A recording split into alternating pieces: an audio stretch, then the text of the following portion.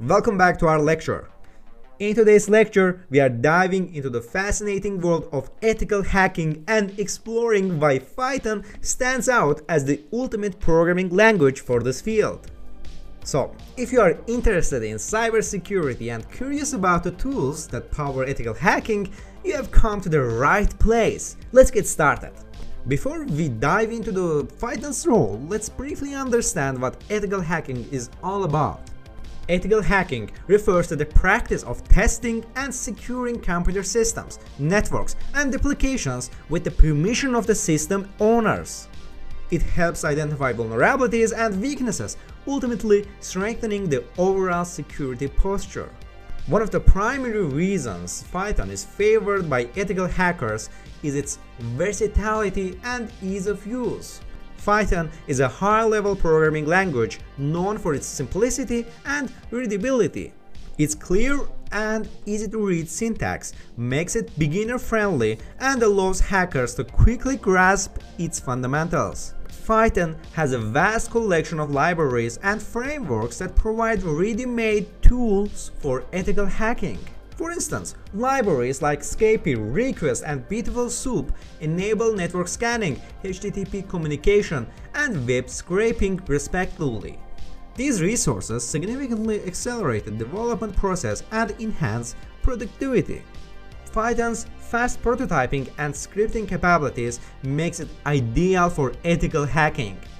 Its interpreted nature allows for quick development and testing of hacking tools, making the process more efficient. With Python, hackers can rapidly iterate and adapt their code to changing circumstances. Another significant advantage of Python is its cross-platform compatibility. Whether you are targeting Windows, Linux, or Mac OS, Python can run seamlessly on different operating systems without requiring extensive modifications.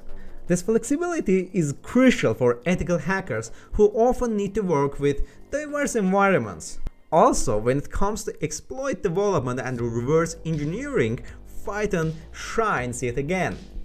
Python allows hackers to build custom exploits and analyze target systems efficiently. Its capabilities, combined with libraries like Pwntools and PyCrypto, enable professionals to dig deeper into vulnerabilities and devise effective countermeasures. Python's versatility extends beyond its own libraries and frameworks. It seamlessly integrates with existing security tools and frameworks, such as Metasploit, Nmap, and Wireshark, making it an indispensable language for ethical hackers. Python acts as a glue that connects different tools and enables hackers to orchestrate powerful and complex attacks. In this section, you will learn about the different kinds of data you can work with in your Python programs. You will also learn how to use variables to represent data in your programs. So what really happens when you run main.py program? So let's take a closer look at what Python does when you run this program.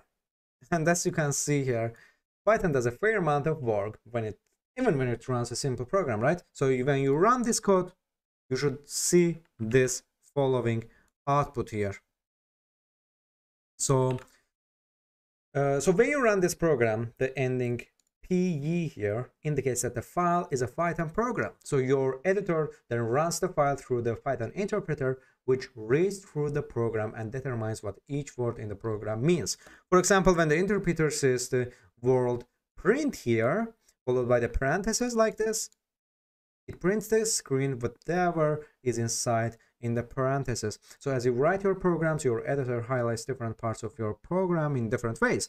For example, it recognizes the print uh, is the name of a function and displays that word in one color. It recognizes that hello world Python uh, or uh, hello typhoon is not a Python code and it displays that phrase in a different color as you can see in this case.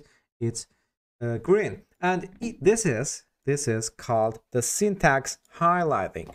So here for example this is a green right? So this is syntax highlighting the python tells us this is a string that's going to be printed on the screen and this is a function built-in function that python has and this these are the parentheses here. Let's see here. So whatever we write inside this parenthesis will be printing here. And let's try using a variable with this print here. So now we will add a new line at the beginning of the file and modify the uh, second line. So we will create a message or my super or my super message here and now we will let's make it this message. Hello hello typhoon. Welcome to this python course. And here after that we will print this message. Oh like this. Print and inside this we will enter our message. Print my super message and now let's run this program and let's see what happens. Uh, by the way you can run this program with shift and f10 this combination of shortcut. And you can also run this by pressing this run main button here. And so we added variable named message here this message here. Every variable is connected to a value right? Which is the information associated with that variable in this case our this variable here let me actually get my pen. Yes. So this variable here this variable here is connected. So this is the value. So this value here is connected to my super message named variable. So adding a variable makes a little more work for python interpreter when it processes the first line. So this is the first line firstly it uh, so uh, it associates this variable my super message with the hello typhoon welcome to the python course uh, value. So when it reaches the second line so uh, when it reaches the second line it prints the value associated with my super message. In this which in this case it's welcome oh hello typhoon welcome to this python course here right and let's expand uh, on this program by modifying this main PE to print a second message. Now let's add a blank line here and then add two new lines of code. So here we will again write my uh, super message and this is the best and fastest Python course in the world. And that's it. Now we will again uh, print the message, which is my super message. Now you, now here, let's run this and you, you will see what happens now. So you can change the value of variable in your program at any time and Python will always keep track of its current value. So for example, in the when we first defined my super message, its value was this. Hello Typhoon, welcome to this Python course and this is the print that we printed here. And the second variable, this is the same variable, right? These are the same. These are the same for now. These are the same variables, but they uh, for after line 4 they do not contain the same values. That's it. You can change variables every whenever you want in Python. And here, now let's learn about the naming and using our variables, which is you will need in Python a lot of times. So I'm waiting you in the next lecture. When you're using variables in Python, you need to adhere to a few rules and guidelines.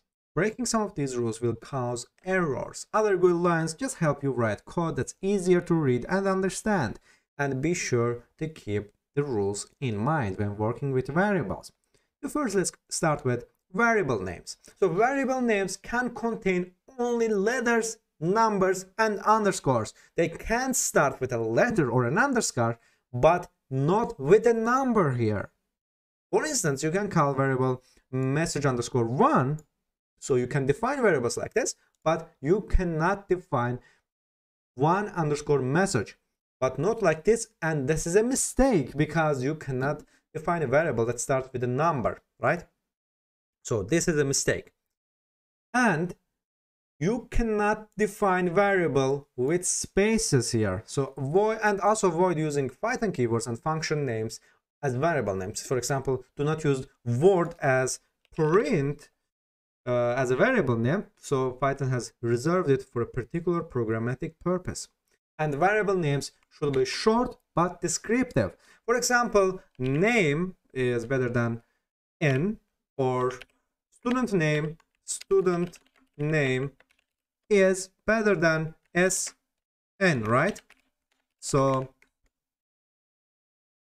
and so the name length, name length here is better than length of person's name, right?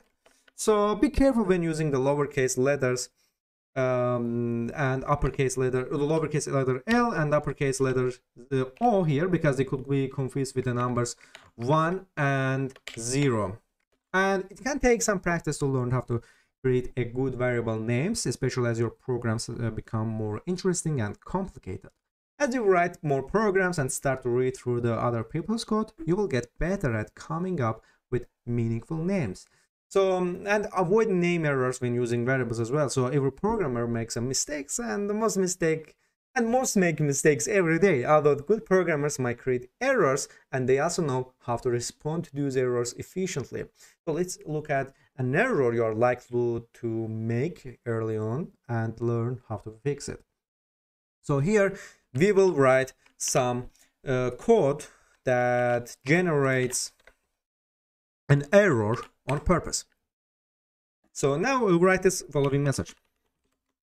So message, uh, my super mega message and message here and we will make this message for example hello every student from your instructor Typhoon here and here we will print this message print my super mega message so when let's run this here this is so when an error occurs in your program the program the python interpreter uh, does its best to help you figure out where the problem is. The interpreter provides a traceback when a program uh, cannot run successfully. So a traceback is a record uh, of where the interpreter ran into trouble when trying to execute your code. Now we will write this. For example, uh, this is the this code is successfully interpreted here and run. And let's delete this s from the one s from the message, and let's run it. And as you can see here, this is our traceback. This is an example of traceback that Python provides after you accidentally misspelled a variable's name. So here we will need an s here right? So uh, and as you can see here the name my super mega message is not defined here. And we have an error in line 2 and the output reports that an error occurs in line 2 of the file of main.py so the interpreter shows this line to help us spot the error quickly and tells us what kind of error it found. And in this case uh, it found a name error and here name name error and reports that the variable being printed message has not been defined. That's because we entered the wrong value in it. And a name error usually means we either forgot to set a variable's value before using it or we made the spelling mistake when entering the variable's name as we did here and if the Python finds a variable name that's similar to that one, it doesn't recognize, it will ask if that's the name you meant to use. So in this example, we omitted the letter S uh, in the variable name uh, my super mega message in the second line. So the Python interpreter doesn't spell check your code, but it does ensure that the variable names are spelled consistently. For example, watch what happens when we spell mm, uh, message incorrectly in the line that defines the message here. So let's make it again. And as you can see here, our code is run successfully. So the, in this case, the program runs, runs successfully, right? So the variable names match. So Python sees no usual.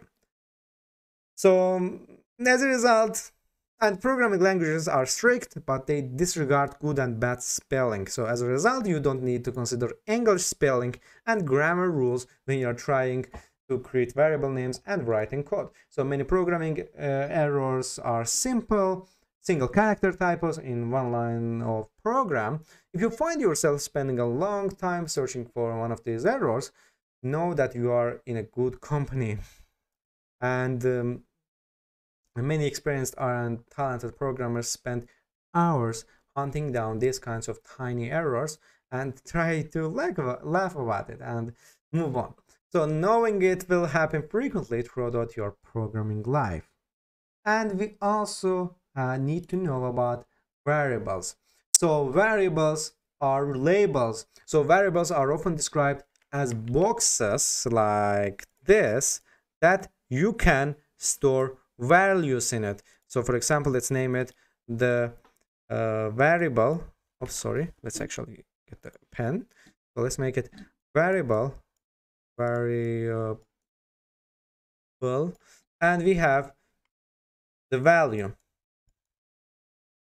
so the idea can be helpful um, so the, this idea can be helpful the first few times you use a variable but it isn't an accurate way to describe how variables are represented internally in Python. So it's a much better to think of variables as a labels that you can assign to values.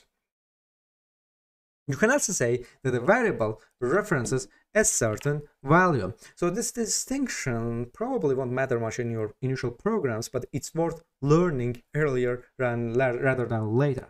At some point, you will see unexpected behavior from a variable, and an accurate understanding of how variables work will help you identify what's happening in your code. And the best way to understand new programming concepts is to try using them in your program. So if you get stuck while working on exercise in this course, try doing something else for a while. So if you are still stuck, review the relevant part of that section and watch this lecture again.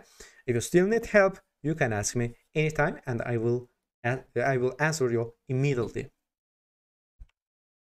Note that the this assignment sign in the statement, for example, user age uh, equals 19 has a different meaning from the sign we learned in math. So in programming, this assignment sign is known as an assignment sign. actually, in the program is equal, equal sign. So it means we are assigning the value on the right side of the sign. This is the value that we are assigning to this variable in the left side. A good way to understand the statement user age equals 19 is to think of the user age uh, this, right? So this statement A equals B and B equals A has a very different meanings in programming. Confused? An example will clear this up. So let's type this following here. X equals or A equals 5, B, uh, B equals 10 and let's and A equals B here, right? So now we will print this uh, here, print our A equals to A and print again our B equals to B, right? And now let's run the program. And as you can see here, here A equals to 10, B equals to 10. Um, so now, although A has an initial value of 5, you can see here declared on the first line, and the third line, uh, a equals b, assigns the value of uh, the b to a here. So we are assigning, with this code, we are assigning a value of b to a. And now we are assigning, in the first line, we are assigning 5 to a, and after that, we are assigning 10 to So here are a equals to 5, uh, the and now b b we don't have b here, so we don't have b here, and here b a equals to 5, b equals to 10, and here our a equals to 10 and b equals to 10 here and next we can uh, modify this by changing only one statement. So let's change the third line from a equals b to b equals a. Now let's run this program again and as you can see we have a equals 5 and b equals 5 and uh, here mathematically the a equals b and b equals a mean the same thing. However this isn't this is not so in programming. And now let's run this program again. And as you can see we got this a equals 5 b equals 5 so you can see that in this example the value the a value remains as 5 but the value of b is changed to 5 from 10 so this is because the statement is in the third line b equals a assigns the value of a to b and b becomes uh, b becomes 5 while a remains unchanged as 5 because most programs define and gather some sort of data and then do something useful with it it helps to classify different types of data. The first data type we'll look at is strings Strings are quite simple at first glance, but you can use them in many different ways. The string is series of characters. Anything inside quotes here is considered a string in Python. You can use a single uh, or double quotes around your strings like this. So this is the flexibility allows you to quotes and apostrophes within your strings. So let's explore some of the ways you can use with strings. Let's, we can also change the case in a string with methods. So one of the simplest tasks you can do with a string is change the case of the word in a string. Let's look at this following code. Let's here name this this is the world's best Python course here and um, here we will print is our name right name dot title title and let's make it this here. That's it. Now let's run this here with uh, shift and f10 shortcut or you can press on this button as well. And as you can see here this is the world's best python course right? In this example the variable name refers to the lowercase string. This is the world's best python course. And the method title here appears after the variable in the print call. A method is an action that Python can perform on a piece of data. The dot here, this dot here, so can, oh, sorry, that's actually, yes, this dot here, um, after name, in the name dot title tells Python to make the title method act on a variable name. So we will act this title method on a variable name. So um, now every method is followed by a set of parentheses because methods often need additional information to do their work. This is the first parenthesis for now it's empty, but the mm, print method has something to show us, right? And that's why we have this parenthesis here. And um, here, the title function for now doesn't need any additional information. So these parentheses are empty. And the title method changed each word to title case, where each word begins with the capital uh, letter. In this case, the T here, and is, this is the world's best Python course. So it changed all the words that starts with a capital letter. letter and that's what title does here. So this is useful because you will often want to think of a name as a piece of information. For example you might want to uh, program to recognize the input values of this here. For example um, this or this or this and or this right? So uh, you might want to program the recognize these outputs as the same name and display all of them as this, right?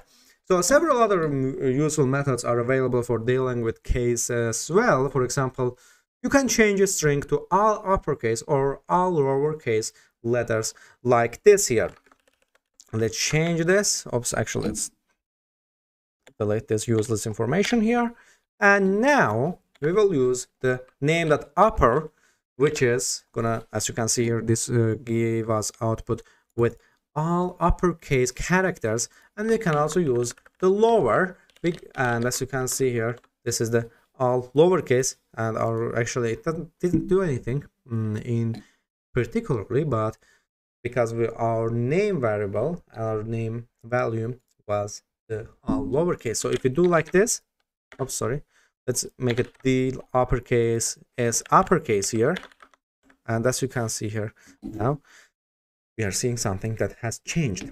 And the lower method is particularly useful for storing data. So you typically don't want to trust the capitalization that your users provide. So you will convert strings to lowercase before storing them. So then when you want to display the information you will use the case that makes most sense for each string. You can also use variables in strings which you will learn in next lecture. In some situations you will want to use a variable's value inside a string. For example you might want to use two variables to represent a car's model and make and speculatively and then combine those values to display some one some car's uh, full model right? So now we will make this uh, car here car make and in this case let's actually make BMW and now car model and here we will make it 500 5 series 5 R series uh, and let's actually make the year right? 2014 and now we will make it car here. We will make it F this is the format and car make oops sorry first the car make and after that we will enter the car model car model right and as you can see is that's it.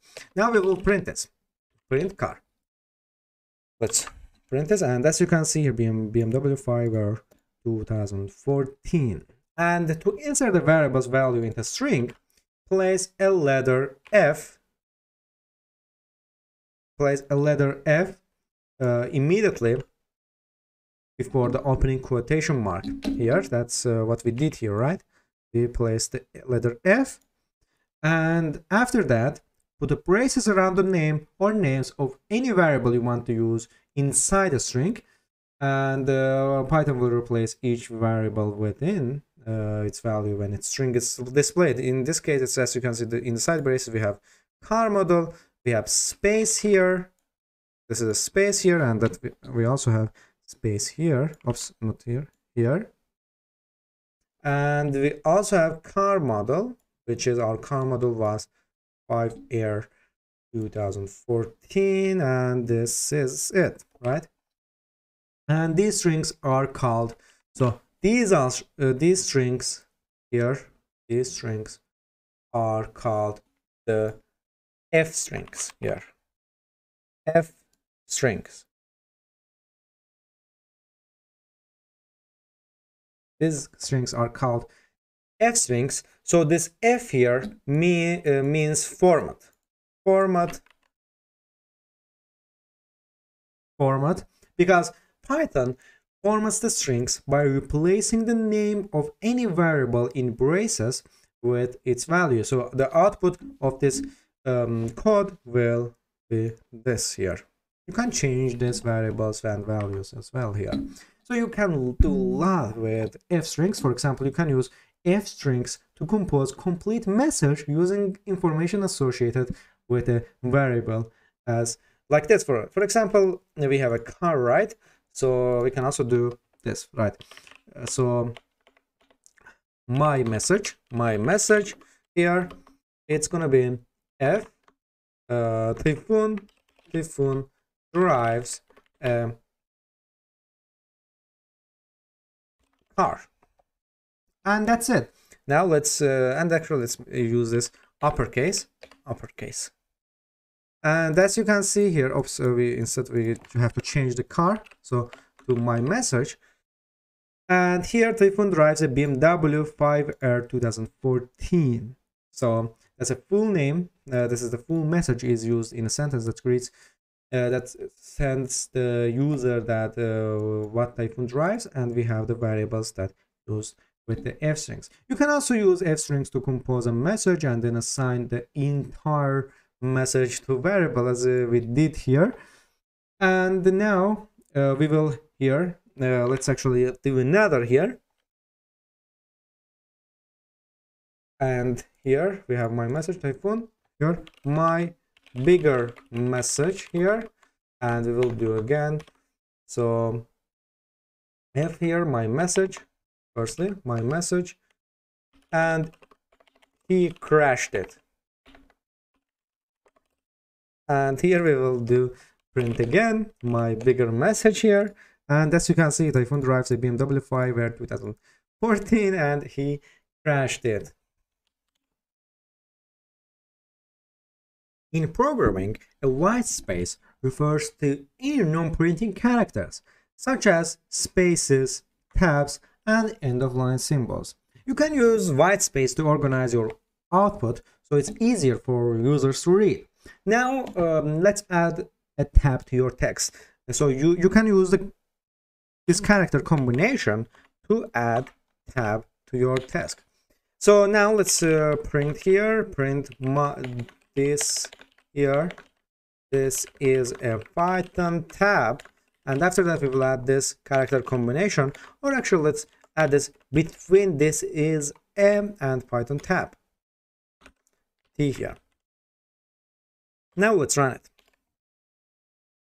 And as you can see here, we have a tab here. This is a tab. So to add a new line in a string, you, you can use the character combination of n here. And as you can see here, this is a new line. This is a new line. And after that, we have a, another space character that we used here. So let's delete this and this. Here you are seeing the new line without any spaces here. But we can also do like this, for example. Print uh, programming, programming languages and languages, languages. And here we're gonna add the new line and Python. Or we can also be before programming languages let's add character tab. So it will look nice. So python c++ plus or yes uh, new line c++ new line java new line swift and here as you can see here we have a tab here python c++ java and swift with new lines here so you can also combine the tabs and new lines in a single string and the strings in T here, in T, TS Python to move to a new line and start the next line with tab. Now we will do that here. Let's actually add two tabs here. You can add here. And as you can see here, there are programming languages, Python and C++ with two tabs here. This is the first tab and second tab, first tab and second tab. And here we have Java with only one tab and Swift with only one tab here. And as you can see, it's here, new line tab, new line tab, and new line tab tab here, and new line tab tab. So new lines and tabs will be very useful in the next uh, two sections when you start to produce many lines of output from just a few lines of code.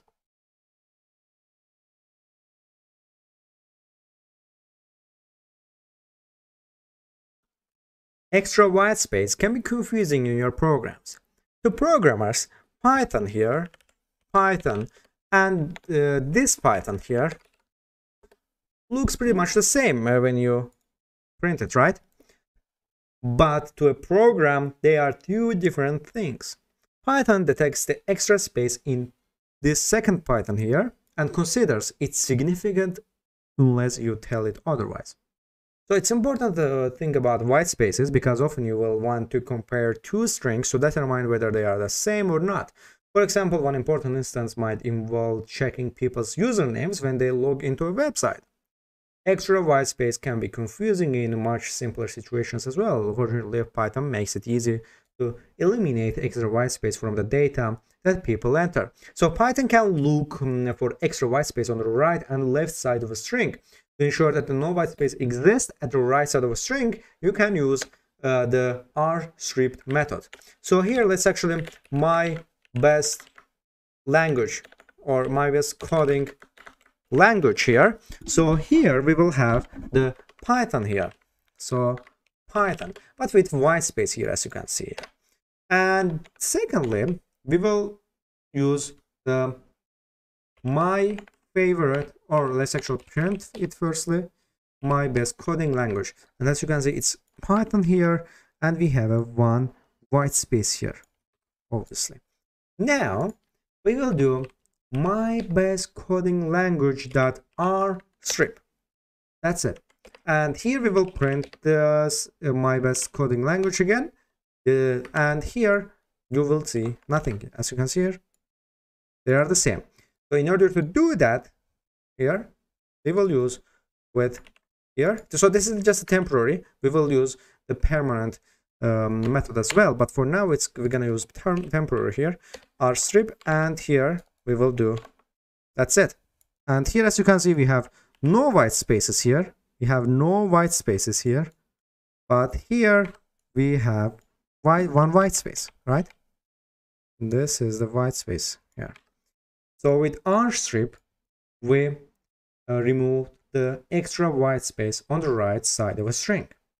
The value associated with my best coding language contains extra white space at the end of the string, as you can see here. So when you ask Python for this value in terminal session, you can see the space at the end of the value. When the rstrip methods acts on the variable my best coding language, this extra space is removed. However, as I said, it is only removed temporarily. So after that, if we do like print uh, the my best coding language again, it will still print us with the white space here. So this here, this this is the third here, second here, oops, second here, and this is the first Python print here. So as I said, it's only removed temporarily here. This is uh, with the white space again, as you can see here. So if you ask for the value of uh, my best coding language again, the string looks the same as we when it was entered, including the extra white space. To remove the white space from the string permanently, you have to associate the stripped value with the variable name. In order to do that, we're going to do my best coding language equals my best coding language dot r strip. Now we will see this here. As you can, this is the with white space and without white space. Let's print this more, more than one time to see here. And as you can see here, we will get the same result, of course. So this is the with, without the white space, uh, with the white space, and the all of these are without the white space. So that's it. To remove the white space, white space from the string, you strip, strip the white space from the right side of the string, and then associate this associate new this new value here this new value with this here because r strip here we have and we are associating this my best coding language with stripped version to normal version here. So in this example we start with with the so let's actually use this uh, add this here and you will see this and as you can see we, we all have the here. Now we're gonna do another example. So firstly we will define this my best coding language with the two white spaces on the both sides. And after that we want my best coding language dot r strip. And here we will print it of course firstly. Print my best coding language dot r strip. And here as you can see here we printed with the right strip here. So now we're gonna do as well as left strip L strip. And here as you can see in first example we have uh, no right white space but in but we have a little left white space. But here we have no left space but we have here we have in a right side we have a white space. So in order to do that we will firstly associate my base coding language that uh, equals the my base coding language dot l strip oops, uh, l strip here and after that we will my base coding language my base coding language dot r strip. And after that we will print the value. So uh, as you remember this is a permanent solution here. And as you can see here we have no right spaces or left spaces on the both sides. So when working with strings um, another common task is to remove a prefix. Consider a url with the common prefix of https here we want to remove this prefix so we can focus on the just the part of the url that the user needs to enter into an address bar. Here's how you do that. So Udemy URL here, Udemy, uh, Udemy, Udemy URL, and here we will enter the Udemy URL here, HTTPS and udemy.com, and here they will use the Udemy URL dot remove prefix, and here we will enter HTTPS here. Now we will print the Udemy URL, or actually let's print this here, print here and here let's see as you can see here we removed the https from the udemy. So enter the name of the variable followed by a dot here and then the method is remove prefix. Inside the parentheses you enter the prefix you want to remove from the original string like we did here. So like the methods from the removing white space remove prefix leaves the original string unchanged.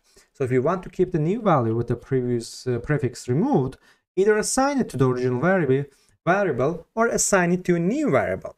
So now we will use this. So my or Udemy URL without prefix prefix and here we will enter this uh, Udemy URL dot remove prefix and HTTPS here and here we will enter the print print and Udemy URL without prefix here. And as you can see, we removed URL, URL uh, that had HTTPS prefix before it, and we printed it, so we have that variable permanently. But whenever we try to print this Udemy URL, it will show us the same because we didn't change this Udemy URL. We created new variable here. This is the uh, new variable, and we took that so we remove the prefix so this has the udemy.com but uh, in the first uh, in the first variable we have we have the https udemy.com so these are two separate variables. Don't confuse here. These are two separate variables. They don't have the associations. And um, only association uh, this variable has is that it only took this from the variable. So but they are separate variables and they are uh, can be manipulated separately one kind of error that you might see with some regularity is syntax error a syntax error occurs when Python doesn't recognize a section of your program as a valid Python code.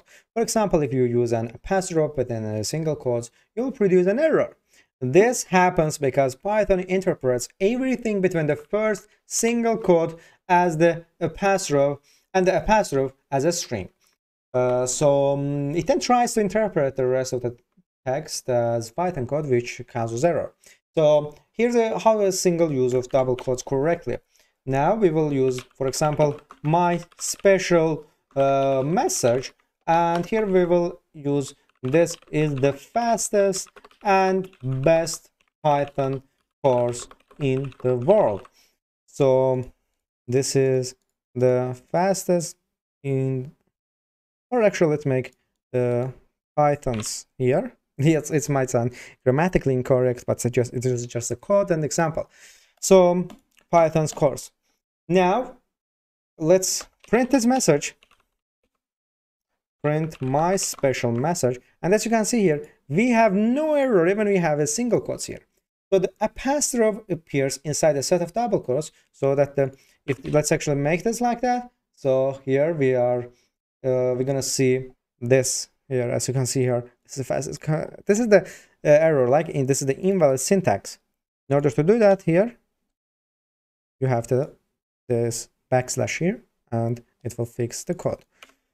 And if the same applies for the single quotes as well, let's actually add our single quotes.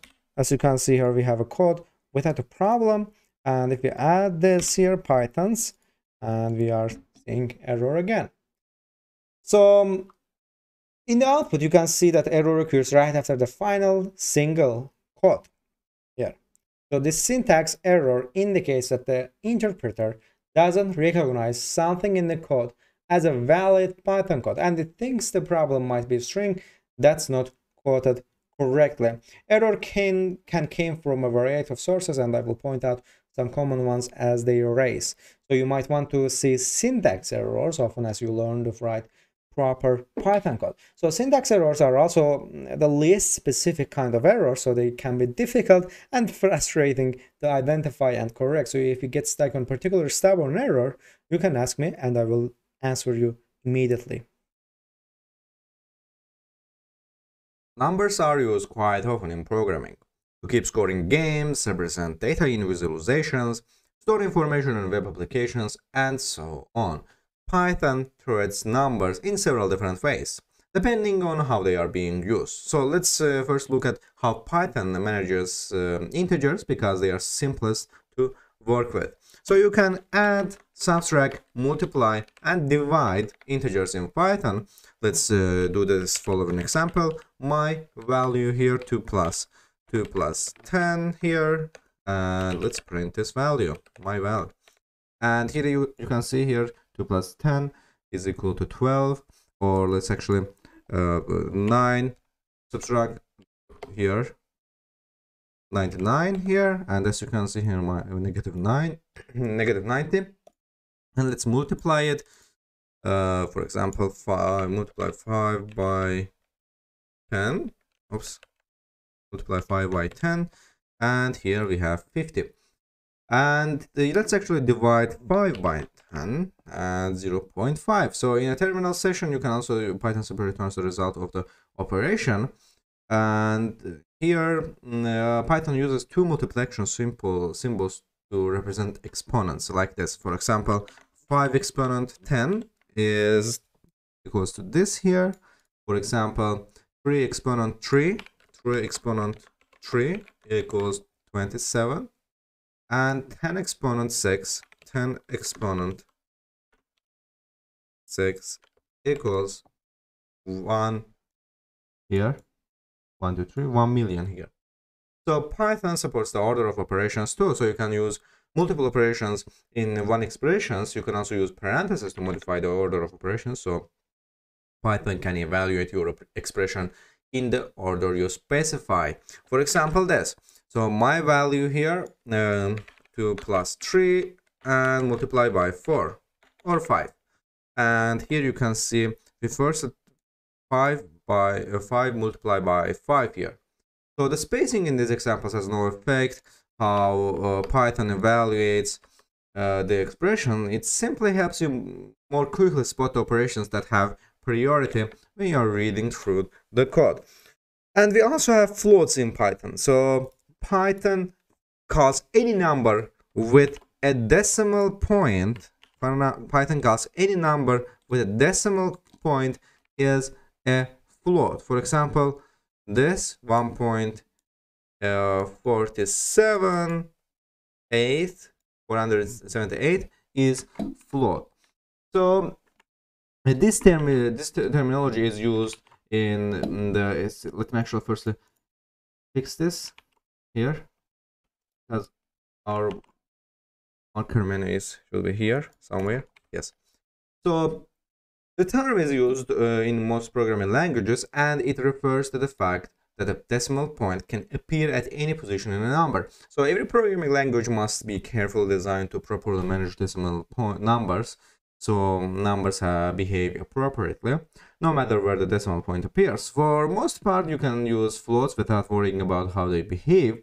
simply enter the numbers you want to use and python will most likely do what you expect. For example 0 0.2 plus 0 0.9 and here 1.1 and here for example uh, 2 multiple action 0 0.2 and here oops sorry yes uh, 0 0.4 and here we have the run it again yes 0 0.4 and here we have 2 multiplication by for example 99 here with some this and here you can see we multiply this number with 2 so this happens in all languages and it, let's actually there's a, some bug here.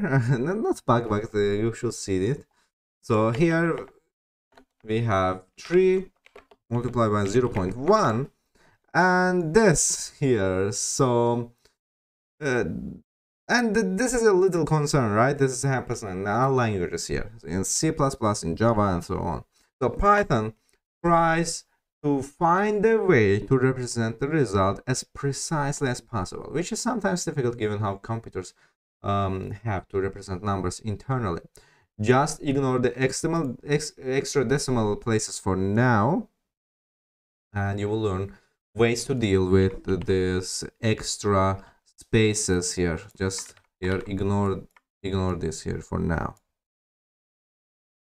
So so when you divide any number um, so when you divide any two numbers even if they are integers that result in a whole number and you will always get a float in mathematically right? So let's do this. For example 4 here 2 and we got 2.0 here. So if you mix any integer and float in any other operations, you will get a float as well. Like, for example, 1 plus 2.0. And we got 0, uh, 3.0. Let's actually use 2 multiplied by 9.0 we got 18.0 and if we we this same applies for the multiplication here uh exponential exponents so 3 exponent 2.0 we are seeing here 9.0 so python defaults to a float in any operation that uses a float. So even if the output is a whole number. When you are writing long numbers. You can group digits using underscores to make large numbers more readable. For example this. The students. And here we will use this students variable as a count of students. For example, let's make it for uh, 50 million, right? So when you print the number, mm, uh, students, print students, here, so when you print a number that was defined using underscores, Python only prints the digits. So Python ignores, ignores the underscores when storing these kinds of values, even if uh, they don't group the digits in trees. And the value here, let's actually, uh, the value here will be still affected. So Python, for Python, the 1000 like underscore after 1 is the same is the same as underscore after 10 so this feature works for both integer and floats. And we also have multiple assignment um, here featuring Python. So you can assign values to more than one, one variable using just a single line of code. So this helps uh, you shorten your programs and make them easier to read. And you will use this technique most often when initializing a set of numbers. For example, here's how you can initialize the variables ABC to 0 here. ABC and here 0, 0, 0. 0, 0, 0. So you need to separate the variable names with commas here and do the same with the values.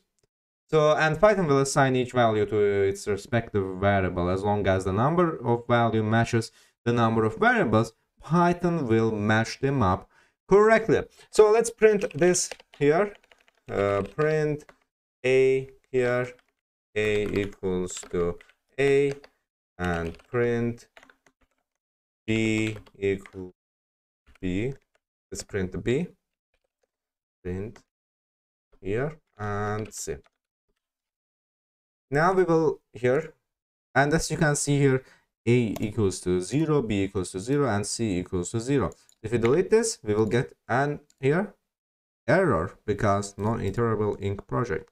So if you do like this for example a equals to 0 b equals to 98 c equals to for example 55 and here as you can see here we assign them accordingly. And we also have constants in python. So a constant is a variable whose value stays same through the life of a program. So Python doesn't have built-in constant types, but Python programs programmers use all capital letters to indicate a variable should be treated as a constant and never be changed. So for example, um, one of the constant might be, for example, maximum number of, for example, maximum value here or maximum customers for example and in this case let's make my maximum customers 500 so when you want to treat a variable as a constant in your code write the name of variable in all capital letters. And we also have comments in python. So comments are extremely useful feature in most programming languages. Everything you have written in your programs so far in python code. So uh, as your programs become longer and more complicated, you should add notes with your programs that describe your overall approach to the problem when you're solving. So a comment allows you to write notes in your spoken language within your programs. So how do you write comments? In Python, the hash mark, the this hash mark, oh sorry, fix that. So in Python, this hash mark indicates a command. Anything following this hash mark here in your code ignored by the Python interpreter here. So, um, for example, let's say this, right? Oops, here. Hello, everyone. Everyone, this is a command and I'm explaining explaining something about my code. My code. So here after that we will print um, example print. Hello my uh, my students here. Students. Now we will print this and as you can see here python ignores the fifth line here and executes the second line what kinds of comments you should write. So the main reason to write comments is to explain what your code is supposed to do and what you are making it work. So when you are in the middle of working on a project, you understand how all of the pieces fit together. But when, when you return to a project after some time away, you will likely have forgotten some of the details. So you can always study your code for a while and figure out how segments are supposed to work, but writing a good comments can save you time by summarizing your overall approach clearly. So if you want to become a professional programmer or collaborate with other programmers, you should write meaningful comments. Today, most software is written collaboratively, whether by a group of employees at one company or a group of people working together on an uh, open source project skilled programmers expect to see comments in code. So it's best to start uh, adding descriptive comments to your programs now. So writing clear concise comments in your code is one of the most beneficial habits you can form as a new programmer. So when you're deciding whether to write a comment ask yourself if you had to consider several approaches before coming up with a reasonable way to make something work. So if, if so, write comment about your solution it's much easier to delete extra comments rather than go to back and write comments for sparsely commented program. For now, I will use comments in examples through this course to help explain sections and codes of this course here.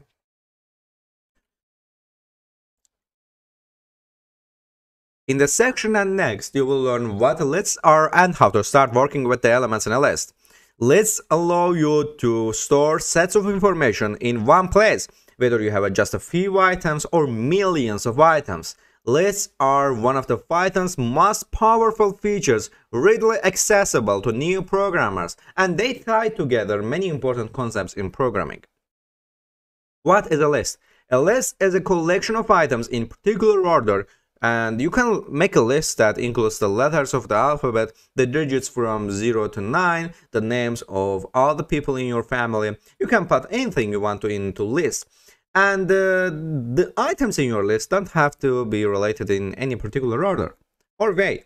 So because a list is usually contains more than one element, it's a good idea to make the name of your list plural, such as my special instead of my special you can write my special numbers like this or letters, digits or names. So in Python, these square braces indicate a list and individual elements in the list are separated by commas here.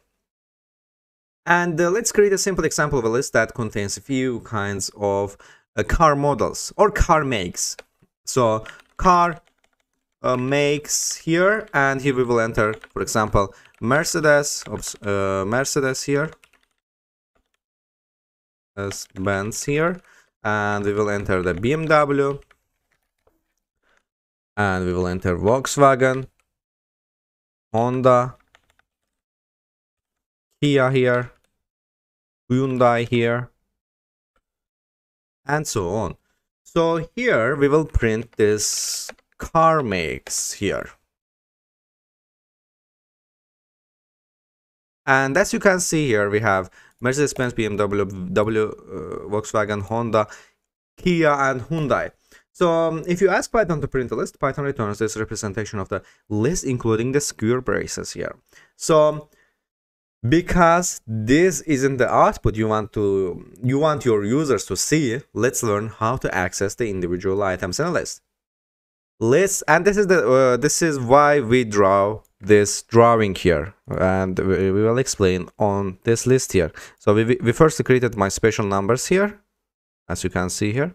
So this associated with this here. Now let's uh, get here. That's it.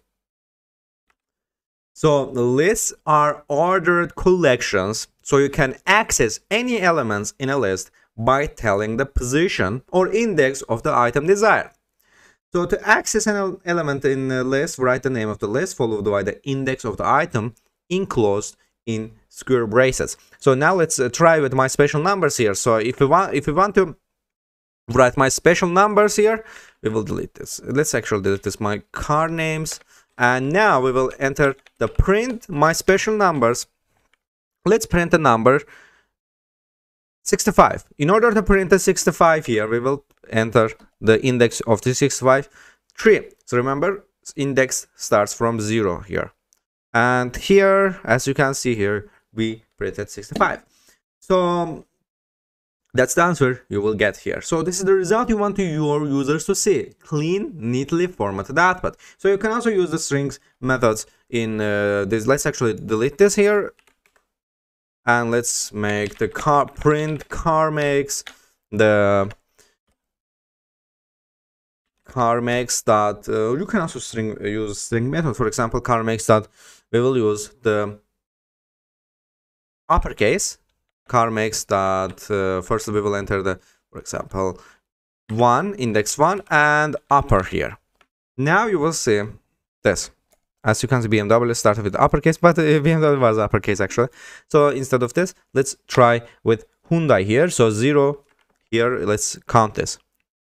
So this is zero, zero, BMW one, index uh, Volkswagen two, index index of Honda is three, index of Kia is four, and Hyundai is five. That's it. So we will enter the 5 here inside the square braces and now let's run it. And as you can see here, we've written it Hyundai in uh, upper cases. And this example produces the um, uh, this output here. So we can, uh, and keep in mind that index positions start at 0 and not 1. So I want to write this here because I want to the new programmers can sometimes be mistaken about the index uh, position starting point here. So index index oops actually let's write with text here. So index position index positions start at 0 uh, and not 1 that's it Keep in mind this word here. Index positions start at 0 and not 1. That's it.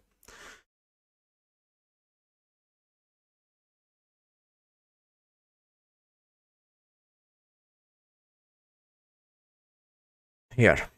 Now, a Python considers the first item in a list to be at a position of 0 and not position 1.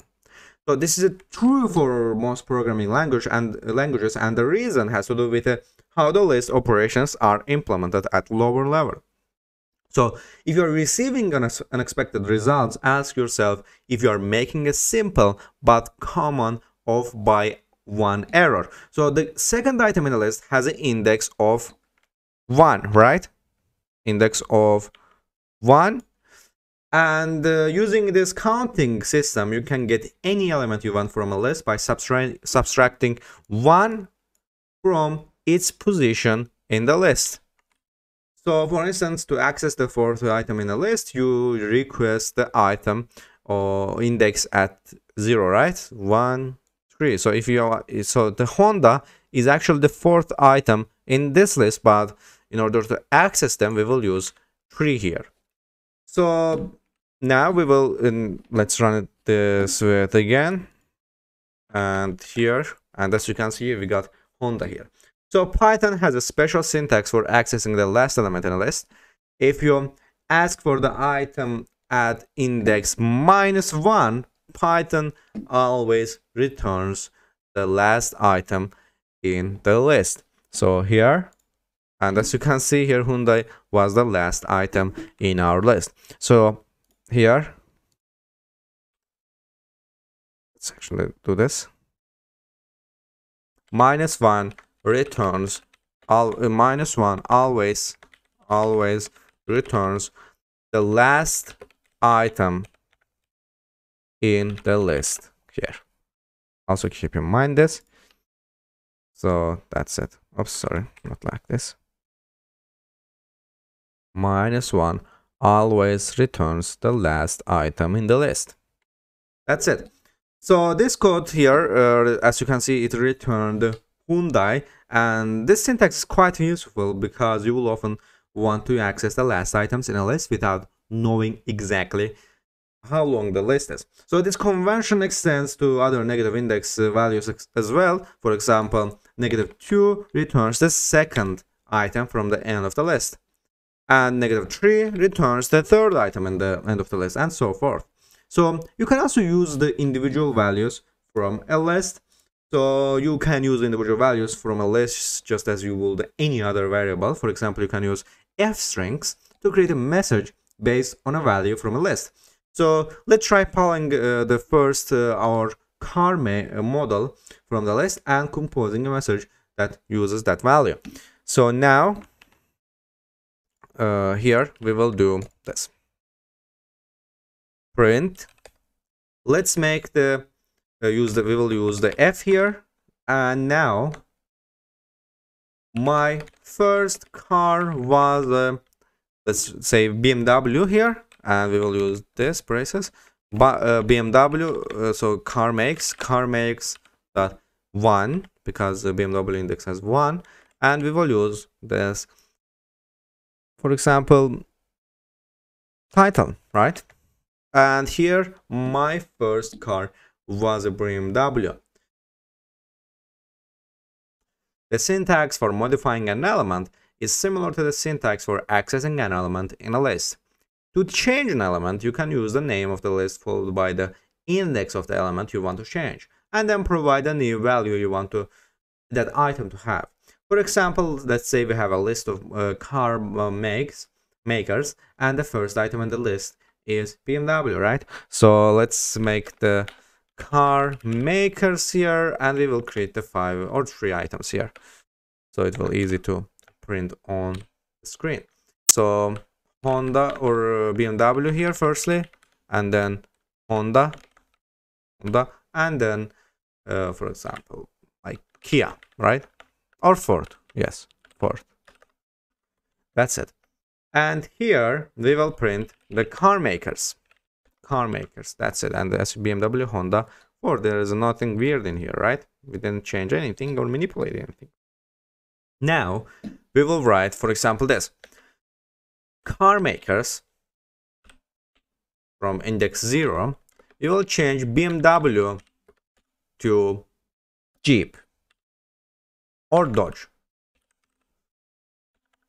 Here. And as you can see here we will firstly oh sorry we will firstly write uh, print this. And as you can see here we changed bmw to dodge. And our uh, new list of car makers had, doesn't have the bmw inside it. So here we define the list of car makers with uh, BMW as a first element and then we change the value of the first item to Dodge. And the output shows the, that the first item has been changed while the rest of the list stays the same. You can change the value of any item in a list, uh, not just the first item. Just remember here. So let's uh, do the same to 2 here. And as you can see here, we changed Ford here to Dodge. And uh, you can also add an element to a list and you might want to add a new element to a list for many reasons, right? For example, you might want to make a new car makers, uh, add a new data to visualizations, or add a new registered users to a website you build. So Python uh, provides several ways to add a new data to existing lists. And the simplest way to add a new element to a list is to append the item in, to the list. So when you append an item to a list, the new element is added at the end of the list. And using the same list we had in a previous example, we will uh, add the new element. We will add a new element, for example, Jeep, to our end of the list. So car makers dot append Jeep here, and after that we will print the car makers, and that's it. And here, as you can see here, we added Jeep here. So um, here we uh, append methods adds Jeep to the end of the list without affecting any other elements in the list. And uh, the append method makes it easy to build the list uh, dynamically. For example, you can start with an empty list and then uh, add items to the list using a series of append cars. Let's uh, do this here, for example, car, uh, car makers, makers, and here we will create the empty list here and car makers that append BMW, BMW, car makers that append Honda here, Honda here, e here let's append Jeep here, oops, uh, append Jeep, and here we will also append the Ford. That's it. Also, uh, of course, we need to print it to show you. And that's it. We created list uh, from zero. And this uh, resulting will look exactly the same as the list in the previous uh, um, examples but we changed a little bit here because uh, as you remember the jeep was at the last and ford was firstly here. That's that's okay. Um, here, a building list this way is very common because you often won't know the data your users want to store in a program until after the program is running. So to put users in control, start defining an empty list that with, uh, will hold the user's values and then append each value, each new value provided to the list you just created. Now you can also insert an element to list. So you can add a new element at any position in your list by using the insert method. So you can do this by specifying the index of the new element and the value of the new item. So I will create a car makers to don't confuse you and car makers and we will make it the BMW or let, let's start with Honda. Uh, it doesn't make any difference for now because it's variable so uh, BMW Honda and let's make it the Volkswagen Volkswagen and Jeep here. Let's fiat here fiat here and uh, opel opel here sab that's it. That's okay. Uh, that's enough here. So you can add a new element to any position in your list as i said in, by using the insert method. So you do this by specifying the index of the new element and the value of the new item. So for example car makers here car makers dot insert. So here we will insert 0 so let's uh, find the new mercedes here right? Or let's use some japanese cars in this case lexus and here we will print the car makers now and here as you can see we changed the honda to lexus uh, but instead you remember here we didn't change the honda here honda is still appears here but we added Lexus here. So instead of 1, 2, 3, 4, 5, 6, 7 items, here we have 1, 2, 3, 4, 5, 6, 7, 8 items. So we added Lexus at the start of the list. So in this example, we insert the Lexus at the beginning of, uh, beginning of the list and the insert method opens a page at position 0 and stores the value um, the Lexus at that location. So this operation shifts every other value in the list uh, by one position to the right. Here, sorry, like let's get this pen. So here BMW was three here. Oops, let's actually get my pen here and make it proper color. Yes. So Honda was zero, BMW was one, the Volkswagen two, Jeep three, Fiat four, Opel five, and Saab was six item in uh, that has six index of the list and here uh, we added Lexus here Lexus now is 0 Honda is 1 BMW is 2 Volkswagen is 3 Jeep is 4 uh, Fiat is 5 and Opel is 6 lastly that's because we added one item at the start of the list here and we have the 7 on the sub. So as I said, the uh, here uh, this operation uh, in shifts every other value in the list one position to the right. We can also remove element from a list. So often you will want to remove an item or set uh, of items from a list. For example, when a player shoots down an alien from the sky, you will most likely want to remove it from the list of active aliens, or when a user decides to cancel their account on a web application you created, and you will want to remove that user from the list of active users. So you can remove an item according to its position in the list or according to its value. Now, if you know the position of the uh, item you want to remove from a list, you can use del statement like this. So we will first print the car makers to make sure what we changed in this um, list. And we will del here car makers 0. That's it. And after that we will print our car makers. Print car makers. And as you can see here, here we use the del statement to remove the first item, which is BMW from the list of car makers. So you can remove an item from any position in a list using the del statement if you want, if you know its index. For example, here's a, how to remove a second item. Um, a second item BMW or uh, yes, here we remove the Honda here, but in this case we will remove the let's remove the third item. Uh, in this case we will enter the Q and as you can see here we removed the Volkswagen. So now the, the third item is deleted from the list. In both examples, you can no longer access the value that was removed from the list after the del statement is used. Sometimes you will want to use the value of an item after removing it from a list. Uh, for example, you might want to get a, the A and B position of an alien that was just shot down. So you can drive an explosion at that position and so on. So in a web application, you might want to remove a user from a list of active members and then add that user to a list of inactive members. So the pop method removes the last item in a list, but it lets you work with the item after removing it. The term pop comes from the thinking of the list as a stack of items and popping one item off the top of the stack. So in this analogy, the top of stack corresponds to the end of the list.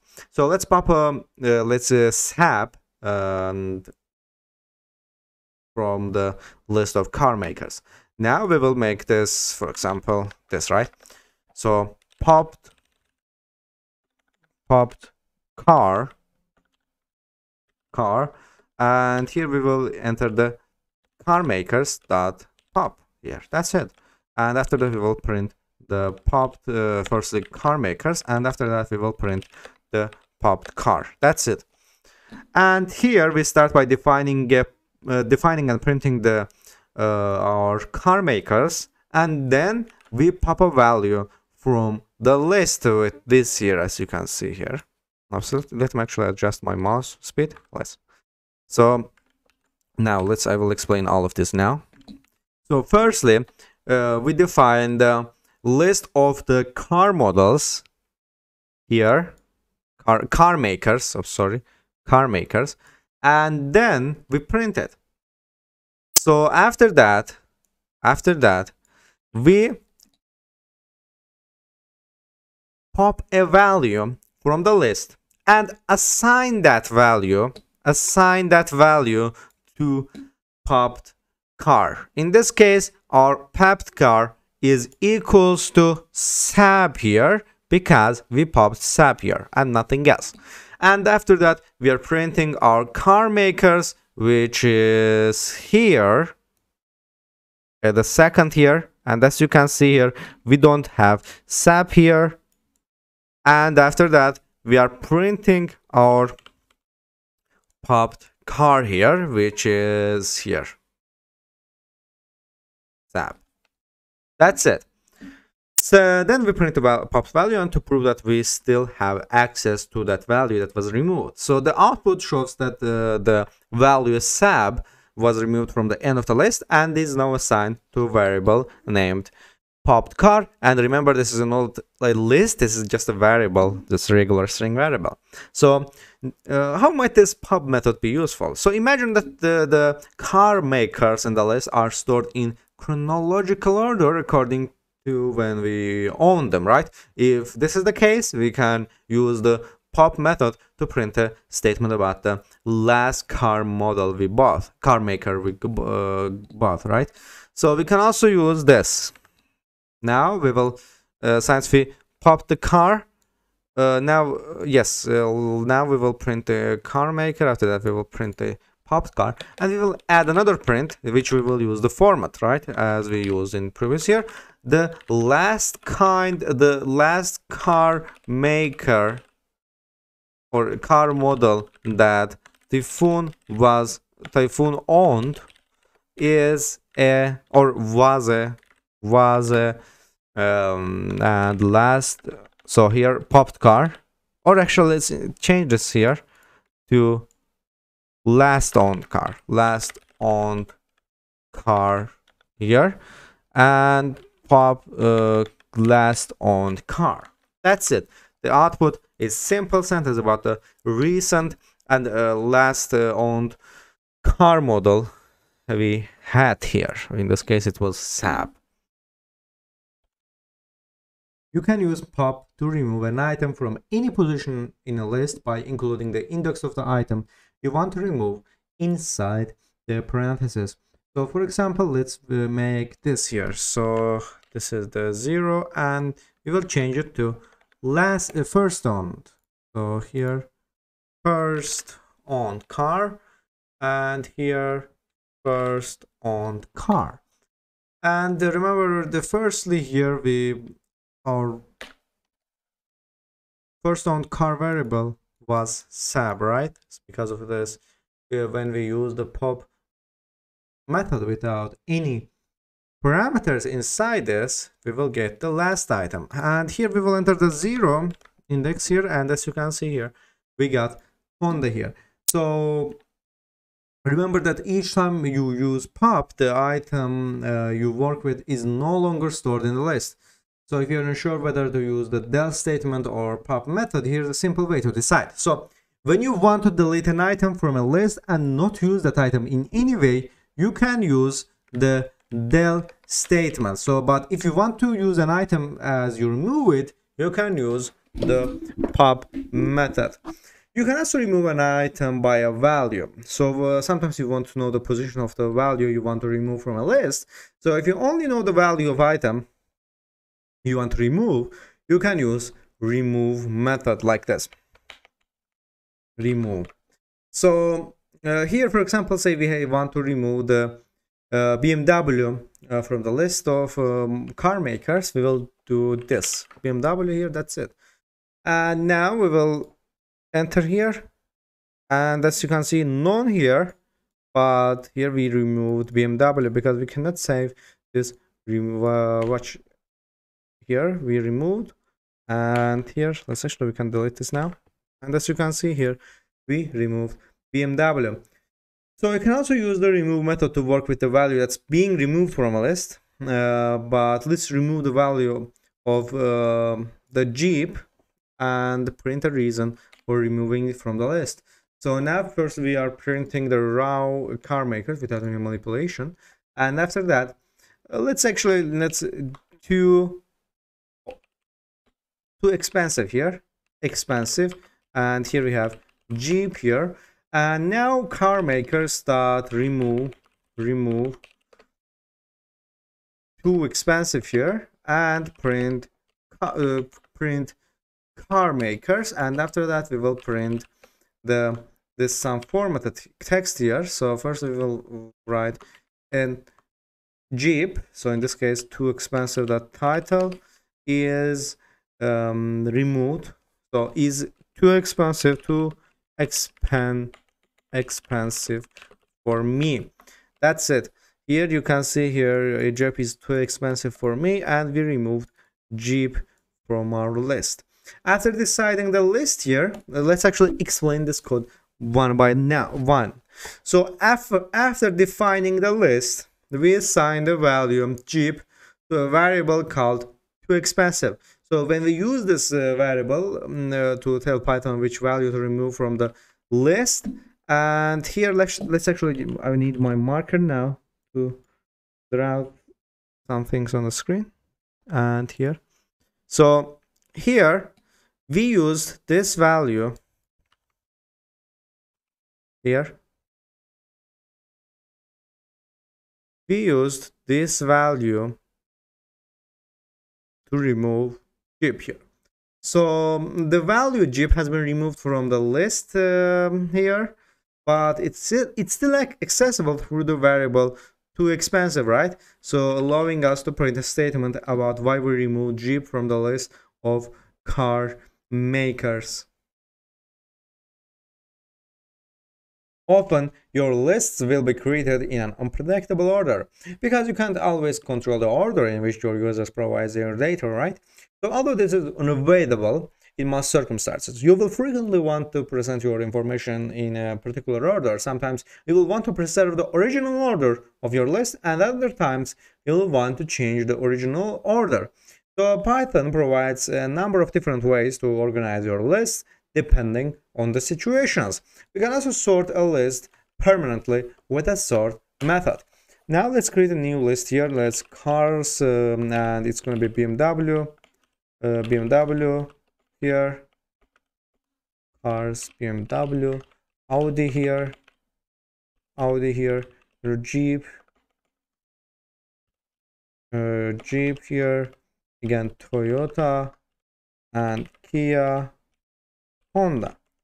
And here so Python sorts method makes it relatively easy to sort a list. Imagine we have a list of cars uh, that we write here and we want to change the order of list to store them alphabetically. To keep the task simple, let's assume that all the values in the list are lowercase. And here we will use the cars dot sort here. And that's it. And after that, we will print this here. And oops, print cars.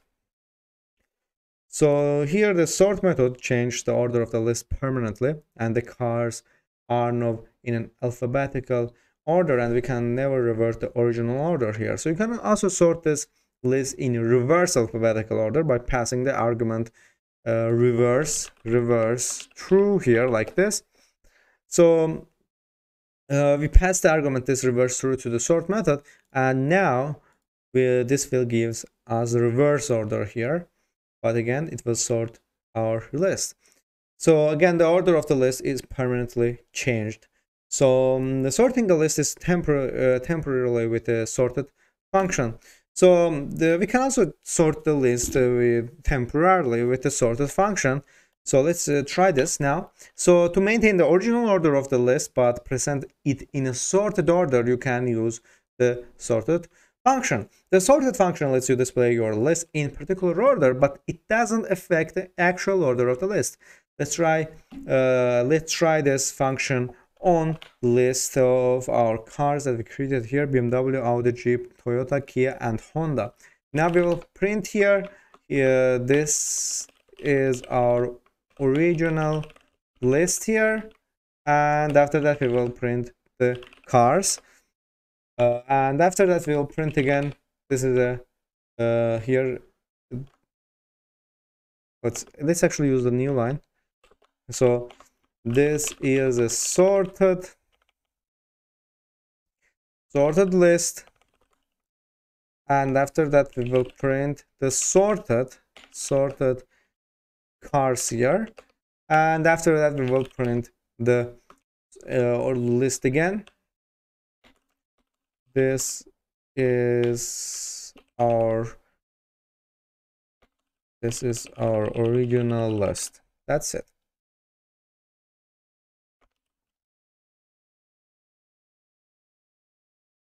here now i will explain this code one by one. So we first print the, uh, print the list in its original order uh, here and then in alphabetical order here. After the list is displayed in a new order we show that the list is still stored in its original order here. Sorry for that. Let's add the print cars here again. As you can see here this these are the uh, two same original orders. So after presenting it in uh, sorting it out even we can use the original owner of the list. So here notice that it's, uh, the list still exists in its original order and after the sorted function has been used the sorted function can also accept reverse uh, through here and uh, argument if you want to display a list in reverse alphabetical order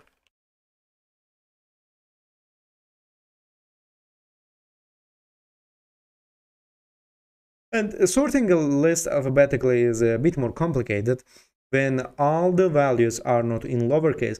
So there are several ways to interpret capital letters when determining a sort order and uh, specify the exact order can be more complex than uh, we want to deal uh, with at this time. However, most approaches uh, to sorting will build directly on what you learned in this section. To reverse the original order of a list, you can use this reverse method. So if, we were originally stored the list of cars in chronological order according to when we owned them, we could easily rearrange the list into reverse chronological order like this. For example, let's delete here and print uh, cars firstly and after that we will cars that reverse here and after that we will print the cars again. So notice that the reverse doesn't sort backward alphabetically, it simply reverses the order of a list. So here uh, we have Honda 1 first year, Kia second, Toyota third, Jeep fourth, Audi fifth, and BMW last year in sixth. This is how reverse method works. So uh, the reverse method changed the order of list permanently, but you can revert the original order anytime by applying the reverse again, like right, like logic here. And as you can see here, we apply the reverse second time, and we have the original list, uh, original order. So um, we can find the length of a list as well. So you can quickly find the length of a list by using the len uh, function so now firstly use this print print len here and after that we will enter the our list. And here as you can see we have six items. Zero one two three uh, one two three four five six items here. We have six items here. And you will find len useful when you need to identify the number of aliens that still need to be shot down in a game. Determine the amount of data that you have to manage in visualization and or figure out uh, the number of registered users on a website among other tasks. So python counts the items in a list starting with one. So you shouldn't run into any off by one errors when determining a length of a list. And also you, you should avoid the index errors when working with a list here. So there's a one type of error that's common to see when you are working with a list for the first time. So let's say you have a list uh, with three items here. Let's actually instead of uh, BMW, Audi, and Jeep, right? So you have a list of three items, BMW, Audi, and Jeep. If you print the print, let's, let's delete this as well. If it the print the three here, this example will give uh, us an index error. So Python attempts to give you the item at index 3 but when it searches the list no item in cars has an index of 3 because of this uh, off by one nature of indexing in list this error is typical and people think the third item is item number 3 because they start counting at 1 but in python the third item number is 2 because it starts from the 0 it starts from 0 1 and 2 so there's a no thing in this list such as 3 right? So if you want to uh, reach the last item you should enter uh, 2 instead of 3 okay? That's why we got the list uh, index out of range error. So an index error means python can't find an item at the index you requested. So if an index error occurs in your program, try adjusting index you are asking for by one. So then run the program again to see if the results are correct. And here keep in mind that whenever you want to access the last item in a list, you should use the index minus one. And this will always work even if your list has changed size since the last time you accessed it. So the index minus 1 always returns the last item in a list. In this case, the value is G here. And the only time this approach will cause an error is when you request the last item from an empty list. And as you can see here, list index out of range. And here uh, we have no items in cars for now. So Python returns another index error. If an index error occurs and you can figure out how to resolve it, try printing your list or just printing the length of your list and your list might look much different than you thought it did and especially it has been managed dynamically by your program and seeing the actual list or the exact number of items in your list can help you sort out such uh, logical errors. So in this section you learned what lists are, how to work with the individual items in a list, you learned how to define a list and how to add and remove elements. You learned how to sort lists permanently and temporarily for display purposes.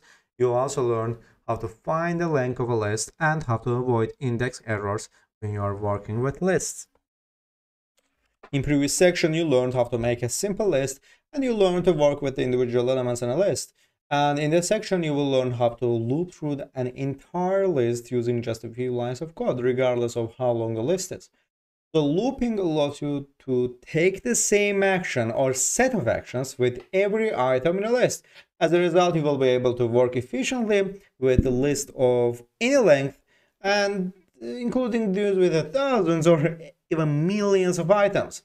So you will often want to run through all entries in a list, performing the same task with each item. For example, in game, you might want to move every element uh, on the screen by the same amount in a list of numbers, you might want to perform the same statistical operation on every element. Or perhaps you will want to display each headline from a list of articles on a website.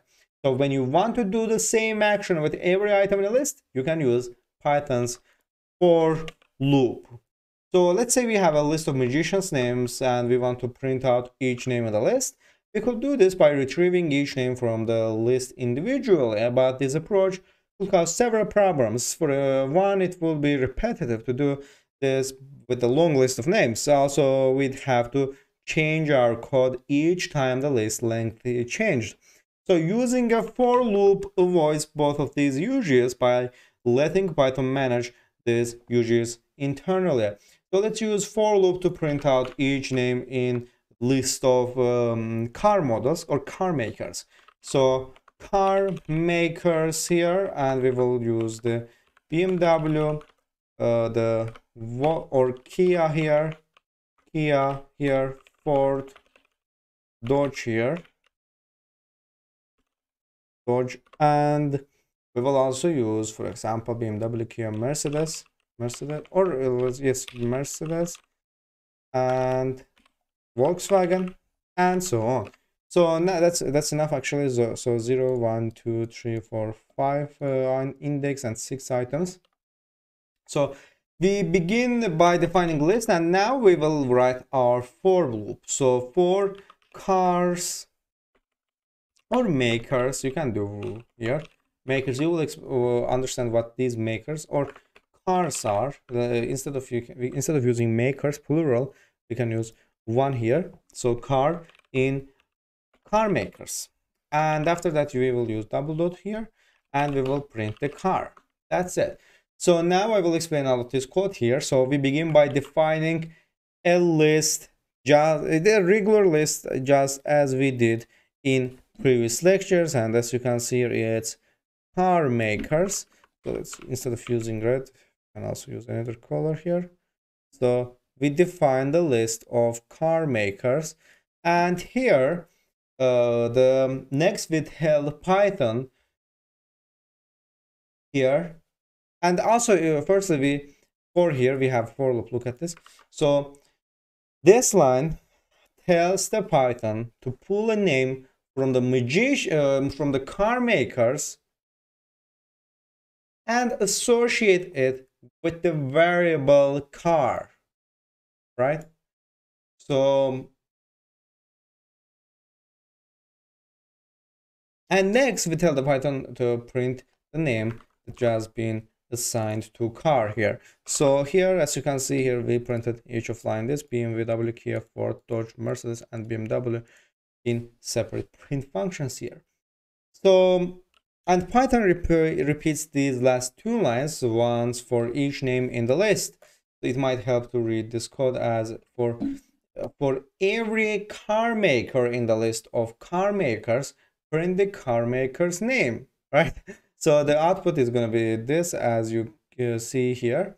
So now let's close let's take a closer look at this loop here. So looping is important because it's one of the most uh, ways of most ways a computer automates repetitive tasks. For example in a simple loop like we used in this uh, Python here. So Python initially reads the first line of the loop, which is for car in car makers. So this tells Python to retrieve the first value from the um, list car makers and associate it with the variable car, right?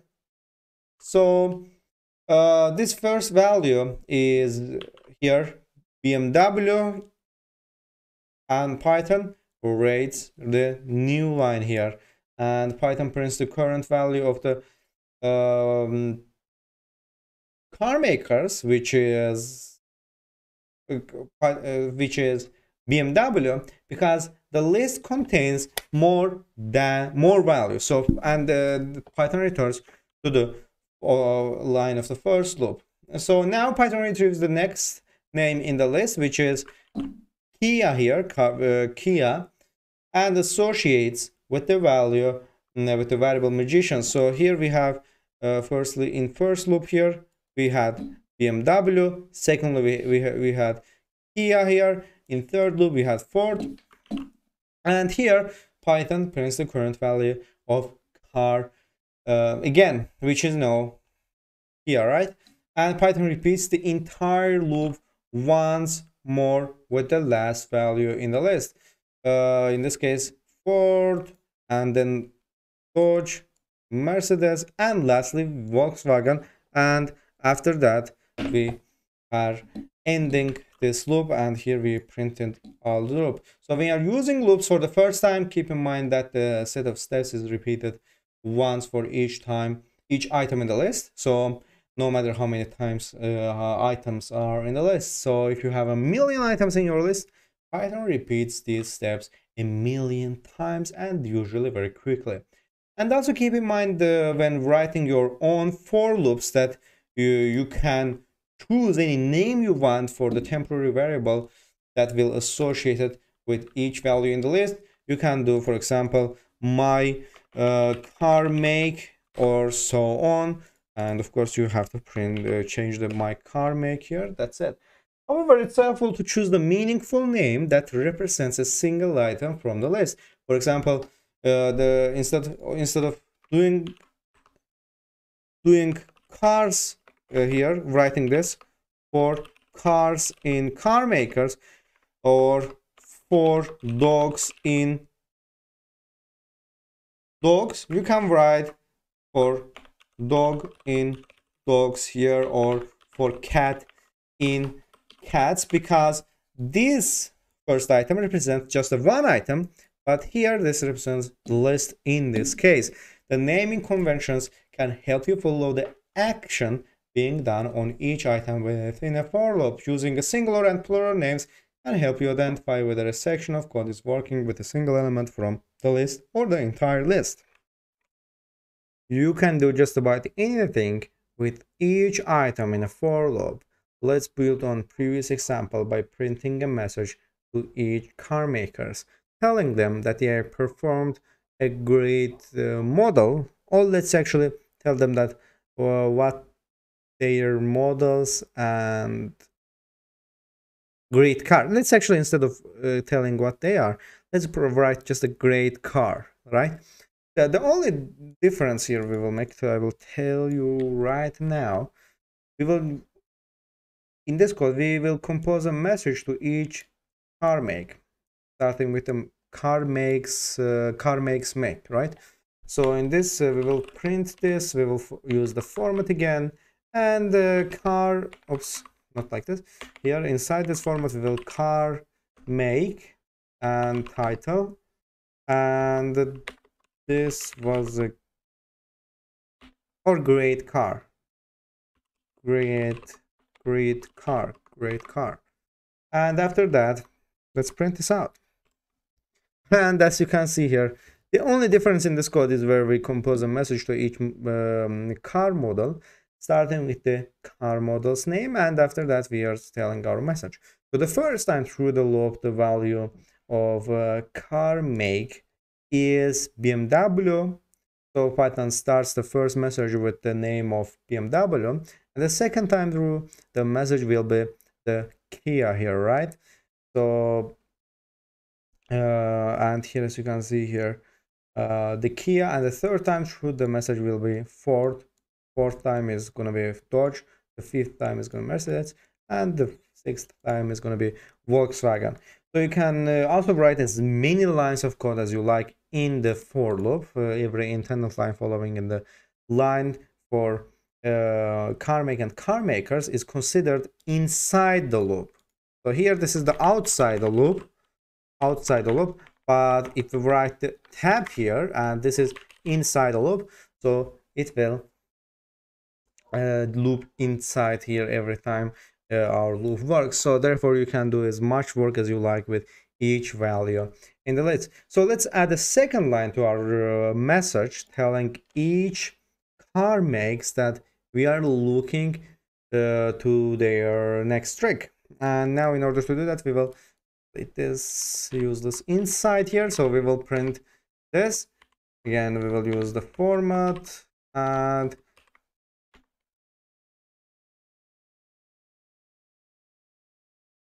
cars are great car. And now we will something car here. So now we will do this that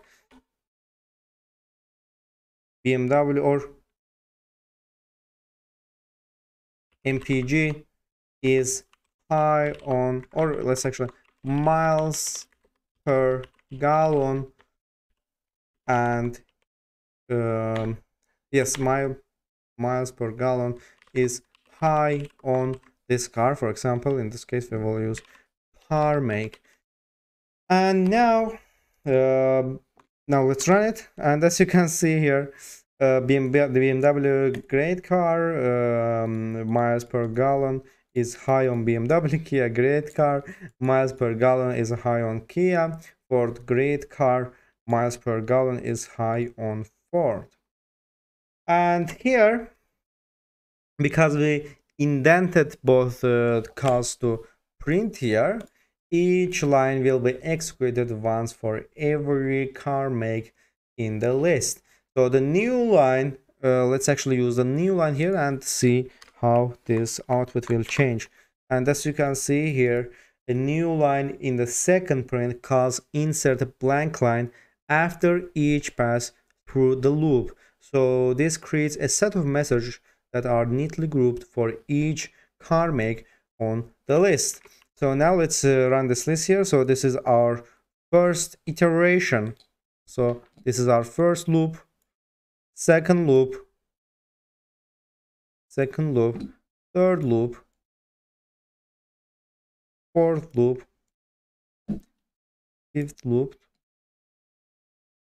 and sixth loop sixth loop and here we our loop ends because we do not have any item anymore any item into the list and that's why our loop breaks here. That's it. So um, oops let's actually fix that. And here that's it.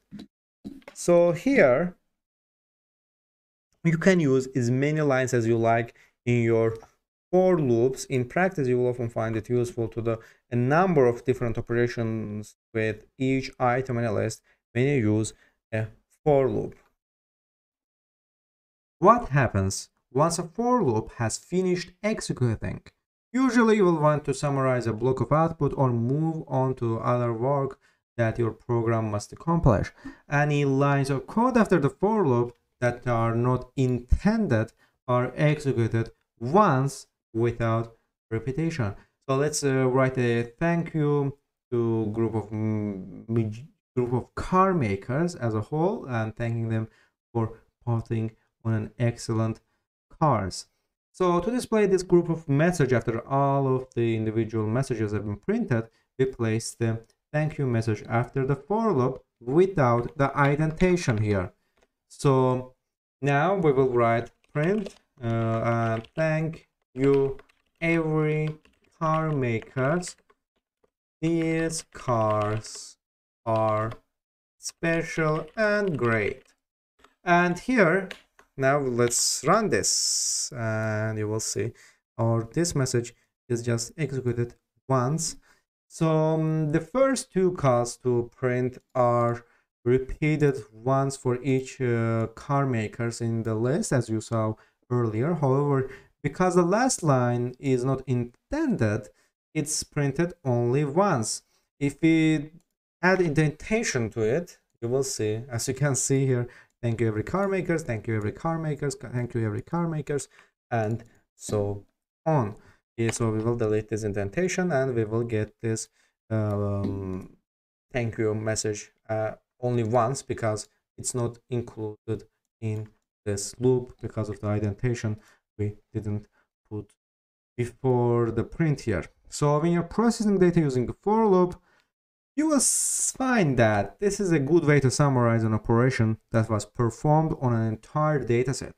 For example, you might want to use a for loop to initialize a game by running through the list of characters and displaying each character on the screen. You might uh, then write some additional code after this loop that displays a play now button after all the characters have been drawn to the screen.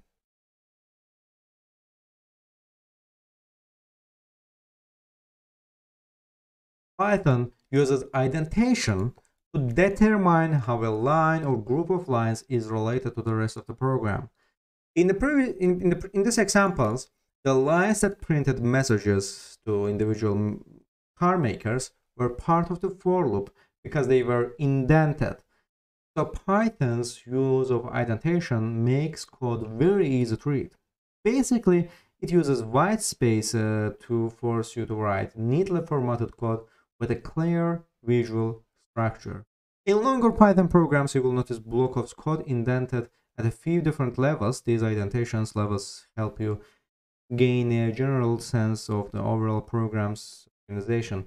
So as you begin to write code that relies on proper indentation, you will need to watch for a few common indentation errors. For example, people sometimes indent lines of code that don't need to be indented or forget the indented lines that need to be indented. So seeing examples of these errors now will help you avoid them in the future and correct them when they do appear in your own programs.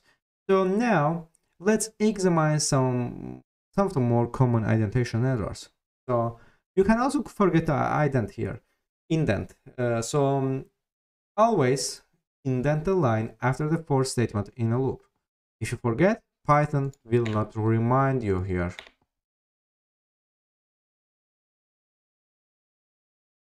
and as you can see here expected an indented block so here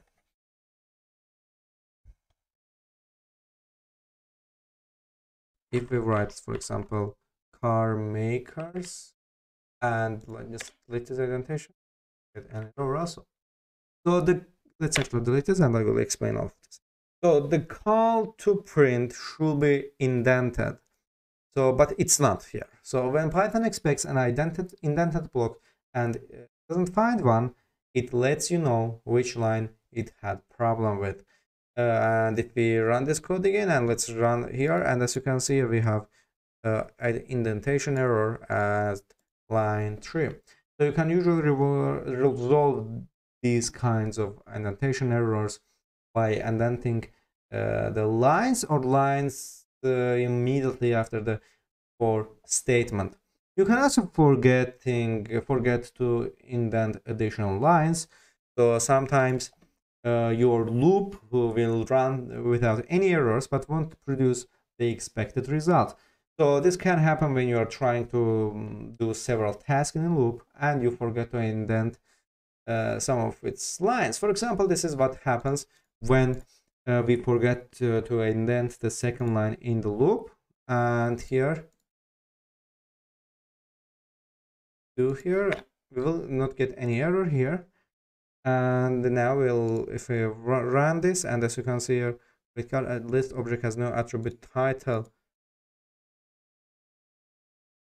As a result the first print and if we if makers here this code will and as you can see let's car make oops car make. This code will run without a problem. We just edit it edit this and if we change this to car make and we will get this as, as well. So here the as the result here the first uh, printf uh, call is not indented is indented. And um, so the first that's why first print uh, call is executed once for each uh, name in the list because it's indented. But here the second print uh, call is not indented. So it's executed only once after the loop has finished running because the final value associated with um, with Volkswagen here and Volkswagen is the only one who receives the looking uh, who, receives the thank you every car makers. These cars are special and great and Volkswagen only one who gets the miles per gallon is high on Volkswagen. And uh, here this is a logical error. This syntax is valid uh, Python code but the code does not produce the desired result because a problem occurs logic so you expect to see certain action repeated once for each item in list and it's executed only once, determine whether you need to simply indent a line or group of lines. So here that's uh, now we are getting this error here because in for loop, if you have a for loop here, for now, this print message will execute at once, but your program firstly execute your for loop again, again, and again, and then after completing the for loop, it will go to next lines here. Many reasons exist to store a set of numbers. For example, you will need to keep track of the positions of each character in a game, and you might want to keep track of players' high scores as well. In data visualizations, you will almost always work with a sets of numbers such as temperatures, distances, population size, or altitude, longitude values, among other types of numerical sets. So lists are ideal for storing set of numbers and Python provides a variety of tools to help you work efficiently with lists of numbers. So once you understand how to use these tools effectively, your code will work well uh, even when your list contains millions of items. So you can also use the range function. So Python's range function makes it easy to generate a series of numbers. For example, you can use the range function to print a series of numbers like this for uh, my value my value here in range for example from 1 to 10 and here we will print the print my value and here you will see oops yeah and here you will see range from 1 2 3 4 5 6 7 8 9 here so although this code looks like it should print the numbers from 1 to 10, it doesn't print the number 10. In this example, range prints only the numbers uh, from 1 through 10. So I want to explain this by drawing something on the screen here like that. For example, this is range range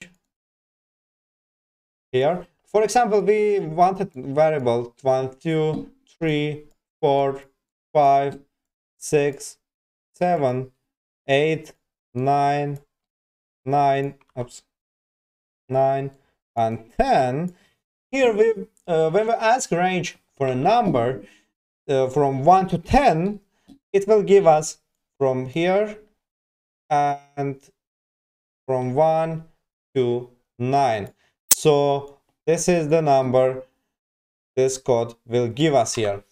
So as i said in this code the range uh, prints only numbers uh, from 1 through 10 uh, through 9 it's let's uh, run it again. And here so this is the, another result of the off by one behavior you will see often in programming languages.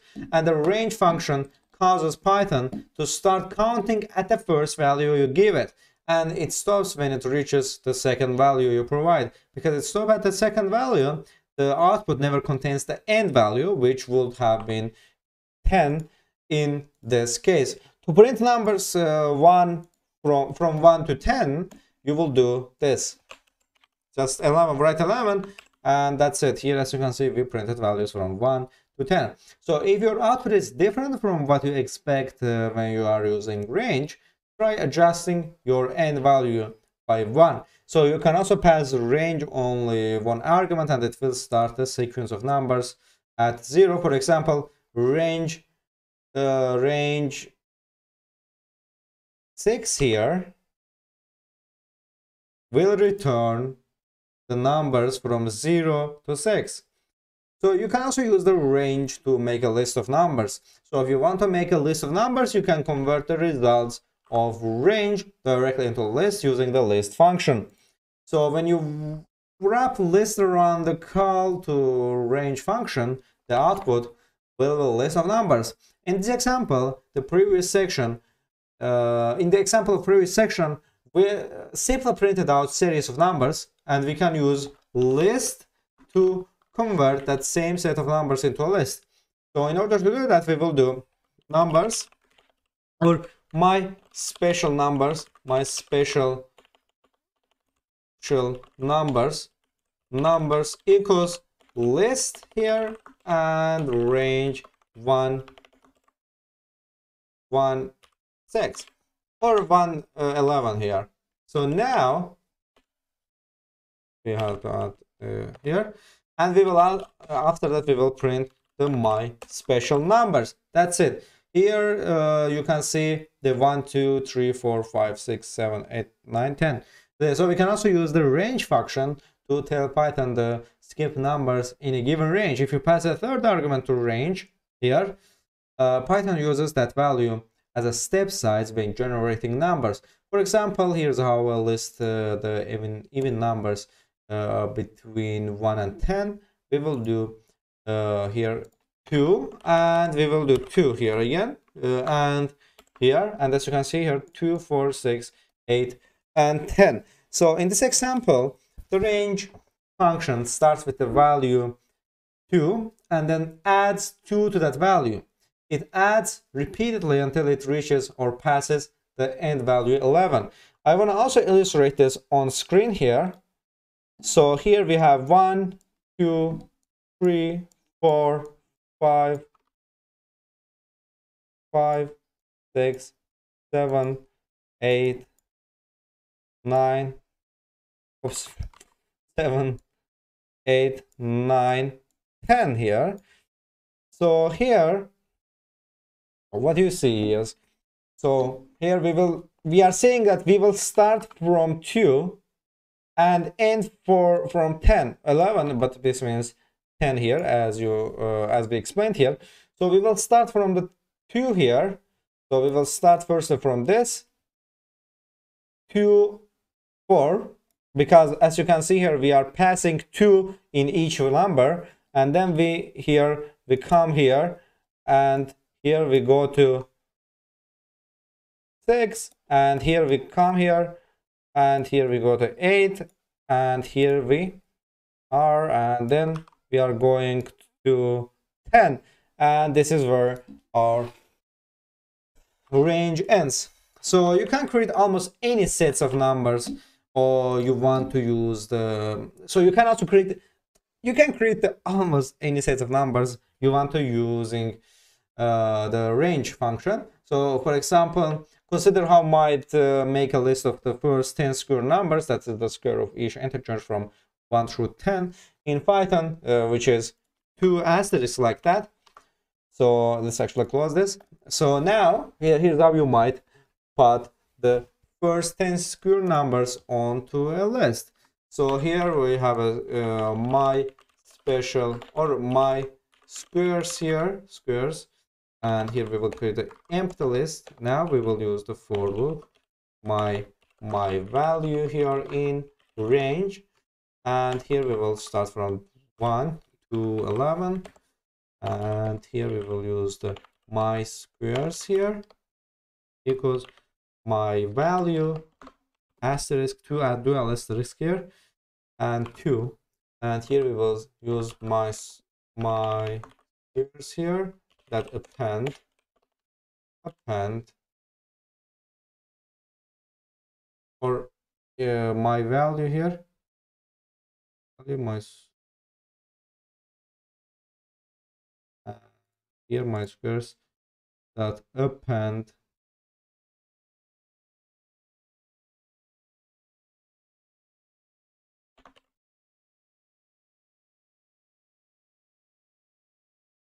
or my my square here and we will change it. My square equals my value asterisk 2 and here we will use my squares that append the my square and that's it. And after that of course we will need to print the squares here.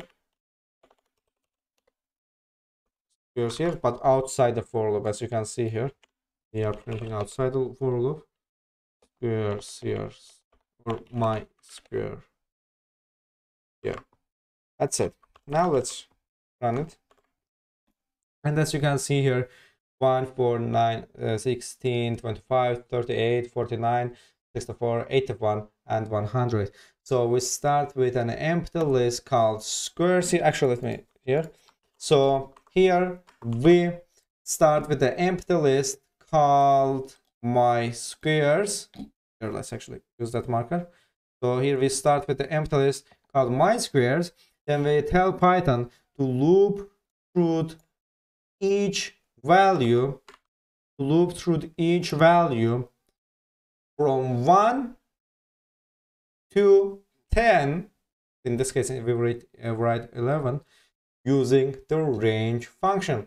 So inside the loop the current value is raised to the second power and assigned to the variable uh, my square here.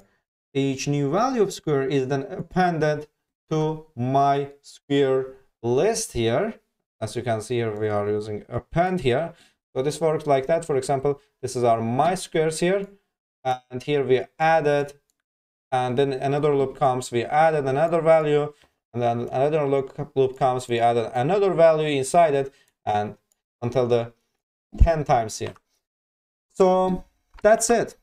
And finally when the loop has finished running the list of squares is printed on the screen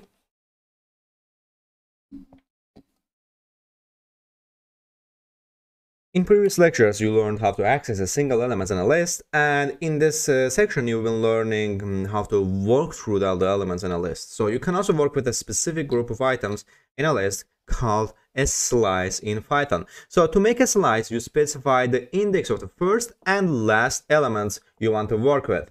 As the, with the range function, Python stops one item before the second index you specify.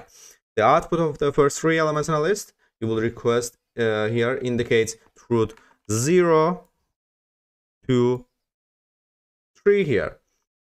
So uh, now if we write uh, 0 to 3 0 to 3 here we will get this here and this is our slice. So here I will uh, create some examples here. So let's again make uh, some example about car makers uh, or let, us uh, sometime now yeah yeah car makers is okay. Uh, car makers here we will add bmw uh, honda here. We will add volkswagen. We will add the ford hyundai kia and nissan here. So here we will print print the zero three. So print car makers, car makers zero three here. So this code now uh, let this code prints a slice of the list. So the output retains the structure of a list and includes the first three car makers in the uh, list here. So in this case, it's gonna print us here. It's gonna print us BMW, Honda, uh, BMW, Honda, and Volkswagen. So it will print us these three items since we write in 0 and 3 here. So now let's print this and as you can see here BMW, Honda, Volkswagen. So you can generate any uh, subset of a list. Uh, for example, uh, if you want to, uh, if you want to, uh, if you want to second and uh, second, third, and fourth item in a list, you will do this. Here, as you can see here, we started Honda, Volkswagen, and Ford. And uh, this time, uh, the slide start with start with uh, Honda here and ends with the Ford.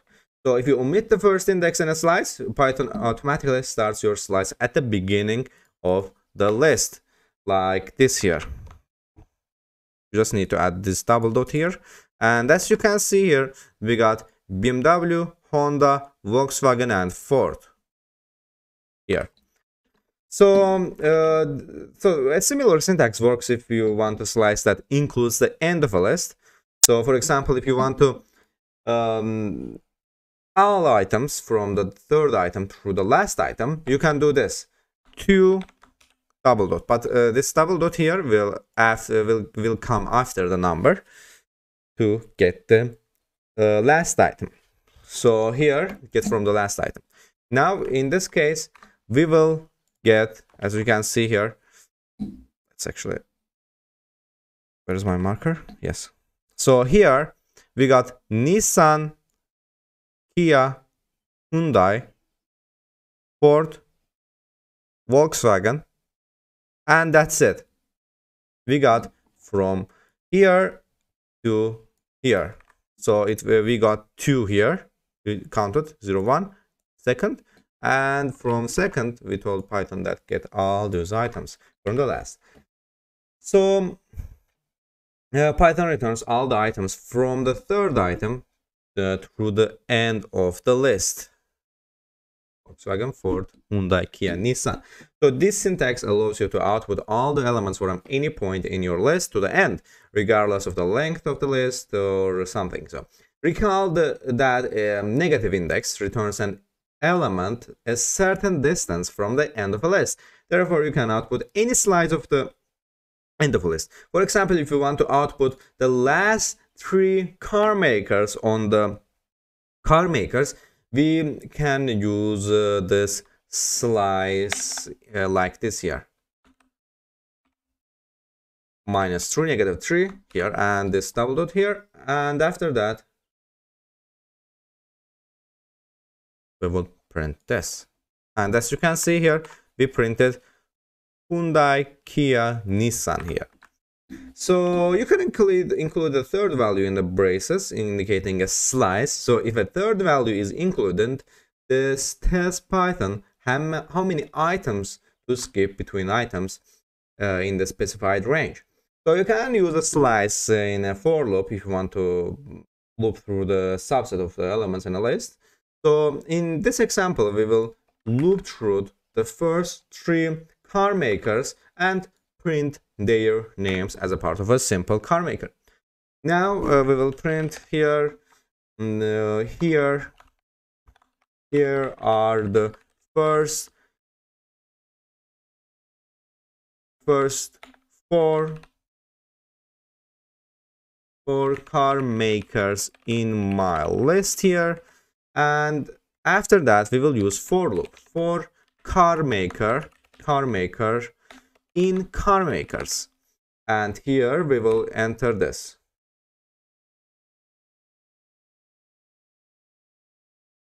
here for and after that we will uh, print here.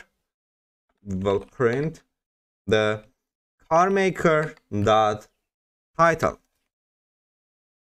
so here we will let's run this. And as you can see here we got this example. We got this output. So instead of looping through the entire list of players or car makers, Python loops through only the first three, uh, first four car makers. So slices are very useful in a number of situations. For instance, when you are creating a game, you could add a player, uh, you could add a uh, car maker's model to a list uh, every time that uh, that car is running or playing uh, the player is playing with that car so you could then get a player's top three scores by sorting the list in decreasing order and taking a slice that includes just the first three scores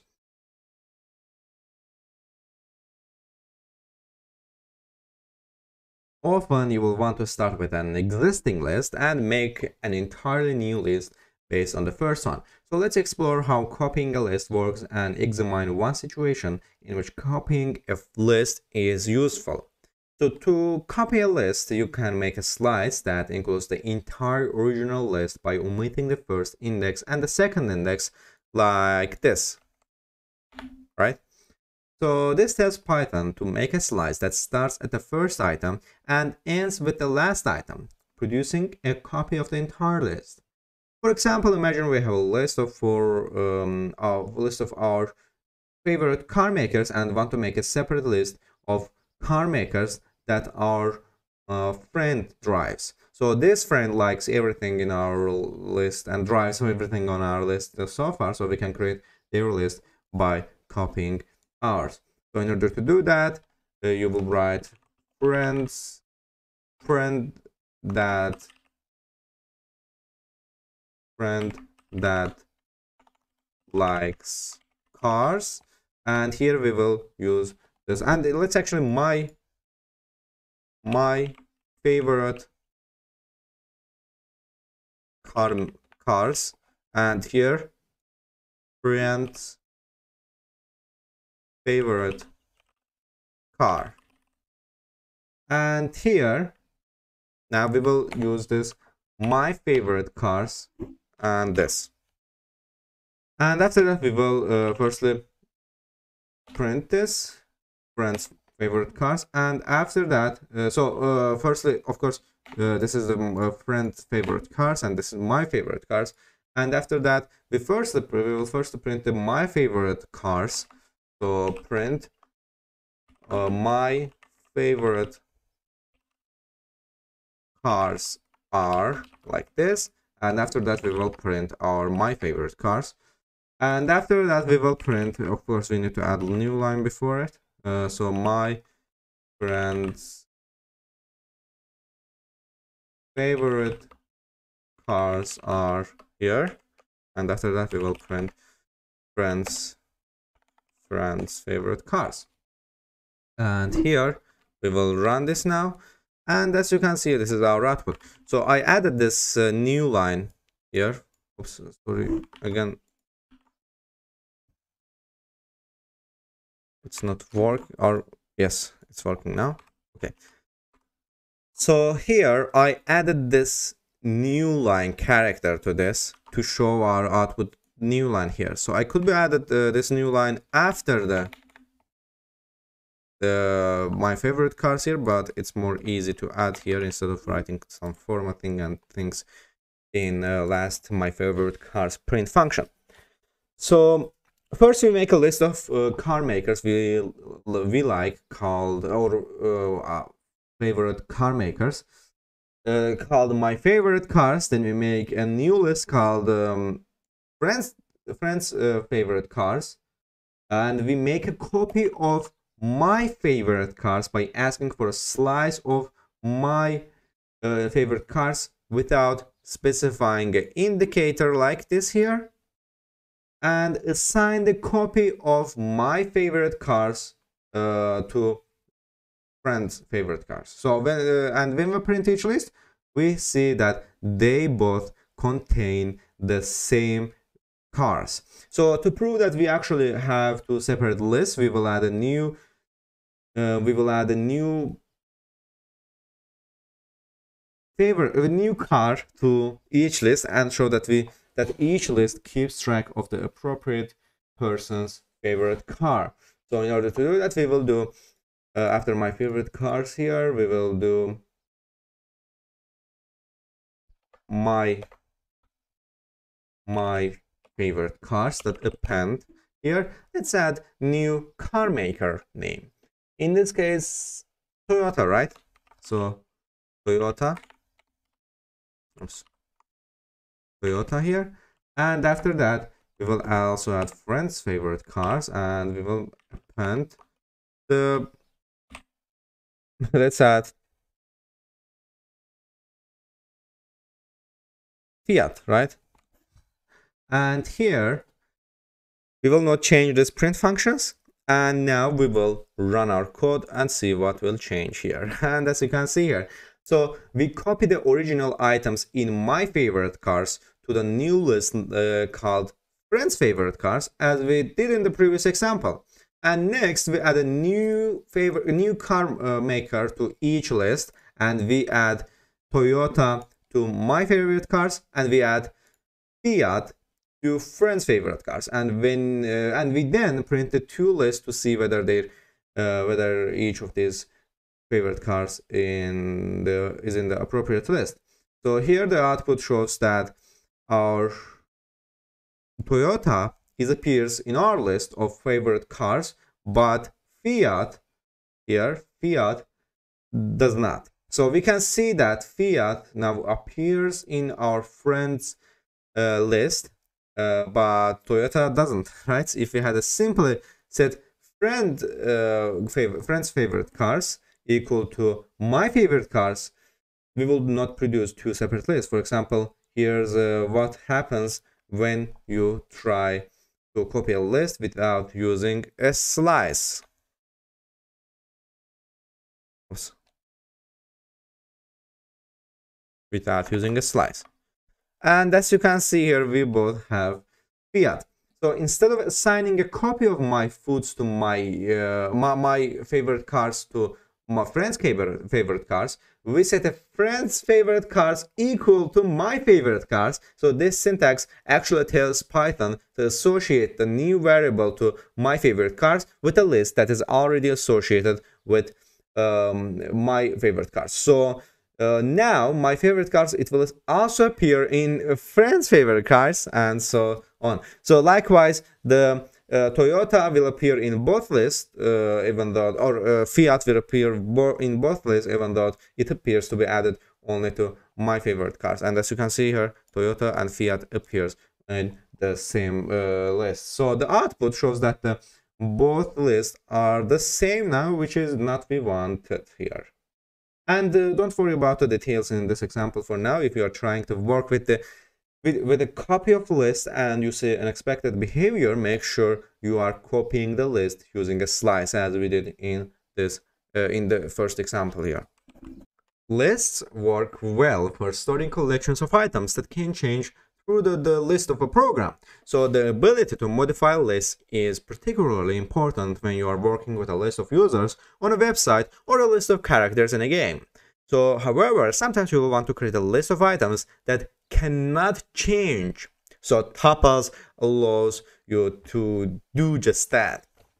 So Python refers to values that cannot change as immutable and immutable list is called tuple. So a tuple is uh, just like a list except you use parentheses instead of square braces. Once you define a tuple, you can access individual elements by using each item's index just as you would for a list. For example, if we have a rectangle that should always be a certain size, we can ensure that it is uh, its size doesn't change by putting the dimensions into a tuple. Uh, so my dimensions here, we will add 250 here and 100 here. And here we will print first, uh, we will print dimension 1 and then we will print, uh, oops, not of course we need to get a variable name. So my dimensions uh, one here. And here as you can see here we define the tuple dimensions using the parentheses instead of a square braces like we did in lists. So then we print each element in the tuple individually using the same syntax we have been using to access elements in a list. And as you can see here we first printed 250 and uh, 200 after that. So uh, this so and actually let's see what happens if we try to change the items or change one of the items in the in the type in the tuple dimensions. Now here we will write uh, my dimension. Actually let's make name it my tuple right? So it will more ex explanatory. My tuple dimensions. And here we will use the my tuple dimensions equal uh, zero. Make it let's make zero to 150 here and after that print this uh, my tuple dimensions 0 and after that I print my tuple dimensions 1 and here so this is the error we got here. Actually delete this for now. So this code tries to change the value of the first dimension but python returns a type error because we are trying to alter a tuple which can't be done to that type of object. And python tells us uh, we can't as, assign a new value to an item in a tuple here. As you can see here, tuple object does not support item assignment. So this is beneficial because we want to Python raise an error when a line of code tries to change the dimensions of the rectangle. And tuples are technically defined by the presence of a comma. So the parentheses make them look neater and more readable. So if you want to define a tuple with one element, you need to include trailing comma here. So if you want to define a tuple just one element, you need to include this trailing comma. Yeah, so it doesn't may often make sense to build a tuple with one element, but this can happen when tuples are generated automatically. So you can uh, also loop through all values in a tuple, so you can loop uh, over all the values in a tuple using just a for loop just we did in previous lectures with lists. So here now we will add new tuple so my tuple or my car models models my favorite favorite car models that I will like forever. And this is not the best name for that, but uh, I've, this is just explanatory purposes. And here we will add tuples that, for example, I like BMWs. I like uh, the here, for example, I like Volkswagen, but the sport sporty ones. Here I like Fords here. So that's it. Ford. And here we will loop through all the tuples in this list. So for so remember this is not a list. This is actually let me here here. So the, remember keep in mind that this is not a list. This is tuple. This is tuple here. So here we will loop through all the items in this list. So for uh, my my fave car uh, and here we will do in my favorite car models that I will like forever. And here we will print here my my fave car and let's print this and here as you can see here we loop through all the elements here so python returns all the elements in a tuple just as it would for a list so um, uh, although you can modify a tuple, so that's it how it uh, how this works here. So although you can't uh, modify a tuple, you can assign a new value to a variable that represents a tuple. For example, if you wanted to change the dimensions of a previously created rectangle dimensions, here for example 250, 250 and 100, and we will print the original dimensions uh, here. Original dimensions dimensions here. And after that we will uh, create a for loop a dimension uh, dimension in dimensions. And after that we will print here uh, we will print the dimension. Print the dimension dimension. And here we will after that we will do again dimensions. We will change the dimensions here. Dimensions and equals for example 500 and 200 right? And after that we will print uh, this new line modified dimensions modified dimensions. And here we will create a new for loop. Actually let's use double dots here. Make it look nicer right? So for dimension uh, dimension dimension in dimensions. And here we will print dimension again. That's it. And here we will let's run it. That's it. And here this is uh, our output. So the first four lines defines the original tuple and print the initial uh, dimensions. And we then associate a new tuple with the new variable dimensions um, and print the new value. And python doesn't raise any error this time because reassigning a variable is valid. So when compared with list tuples are simple data structures and use them when you want to store a set of values that should not be changed throughout life of a program conditional programming or branching is something you do every day, every moment. It's about evaluating conditions. If the light is red, then I can cross. If I'm hungry, I need to eat. And if I am late for work, then I will call my boss. And the main tool is the if statement, which comes in different forms and colors, but its basic function is to evaluate an expression and based on the result, choose which part of the code to execute. As usual, let's uh, look at uh, this example here. So if, if I am um, m is late here and true here, true, and after that we will, if uh, is late is true, then print I need I need to get I need to call my boss. And uh, this is possible the simplest example. So when uh, fed to if statement the is late acts as a conditional expression which is evaluated in a boolean context. And remember that is late here this is late variable here is boolean. Not a string not value tuple or anything. It, it is a boolean. It's another primitive type boolean. You will learn about that in next lectures also. So uh, so boolean also can boolean has two values either false or true. So if the result of the evaluation is true then we enter the body of the code immediately after the if statement. Notice that the print instruction is indented which means that it belongs to scope uh, defined by the if here. And as you can see this is indentation here.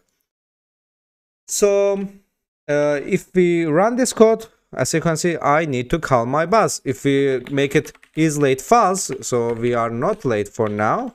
And as you can see we didn't evaluate anything. So this code is didn't work or didn't need it to work here so depending on the result of evaluating the late uh, is late expression we can either enter block 1 or block 2 but not both. So block 1 is executed when late evaluates to true while block 2 here is executed when the late evaluates to false. So trying assigning uh, false and true to this is late to, to see how the output of uh, this code changes accordingly.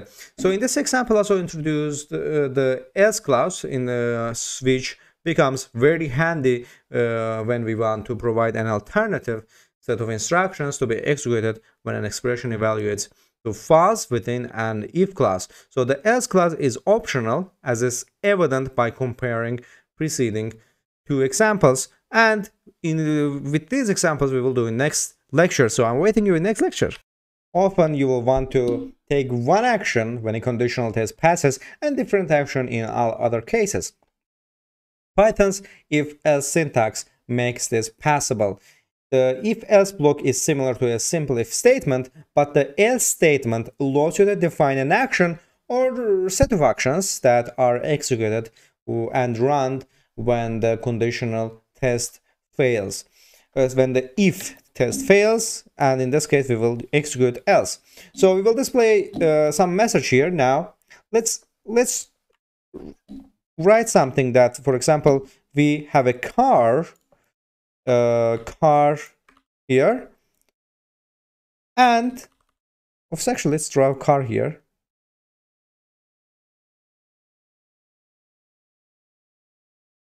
And we don't this we don't want this car to uh, for example older than 10 years right? So let's make this 10 years so we want this car to less than 10 years. So we will want a new car, right? And that's why we're going to do here that let's make, for example, car model, car model. Here it's going, in this case, let's make it BMW and car year. In this case, let's make it um, 2015 and here we will add if our car model so car year minus 2023 in this case of course uh, today's year is 2023 and actually let's delete this for now. Also delete this. And now car year minus 2023 is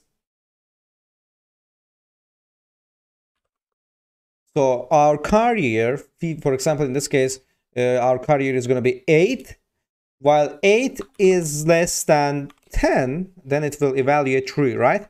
So in this case print uh, your car is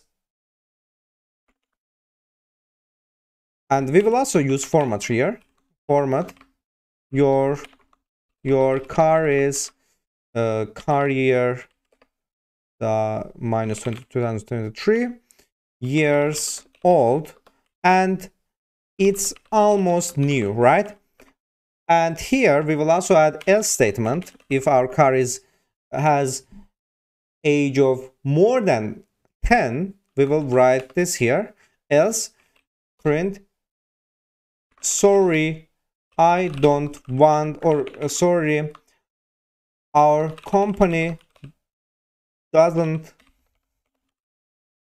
buys cars buy cars that more um, that age is more than 10 and after we will print and again and your your cars your car age is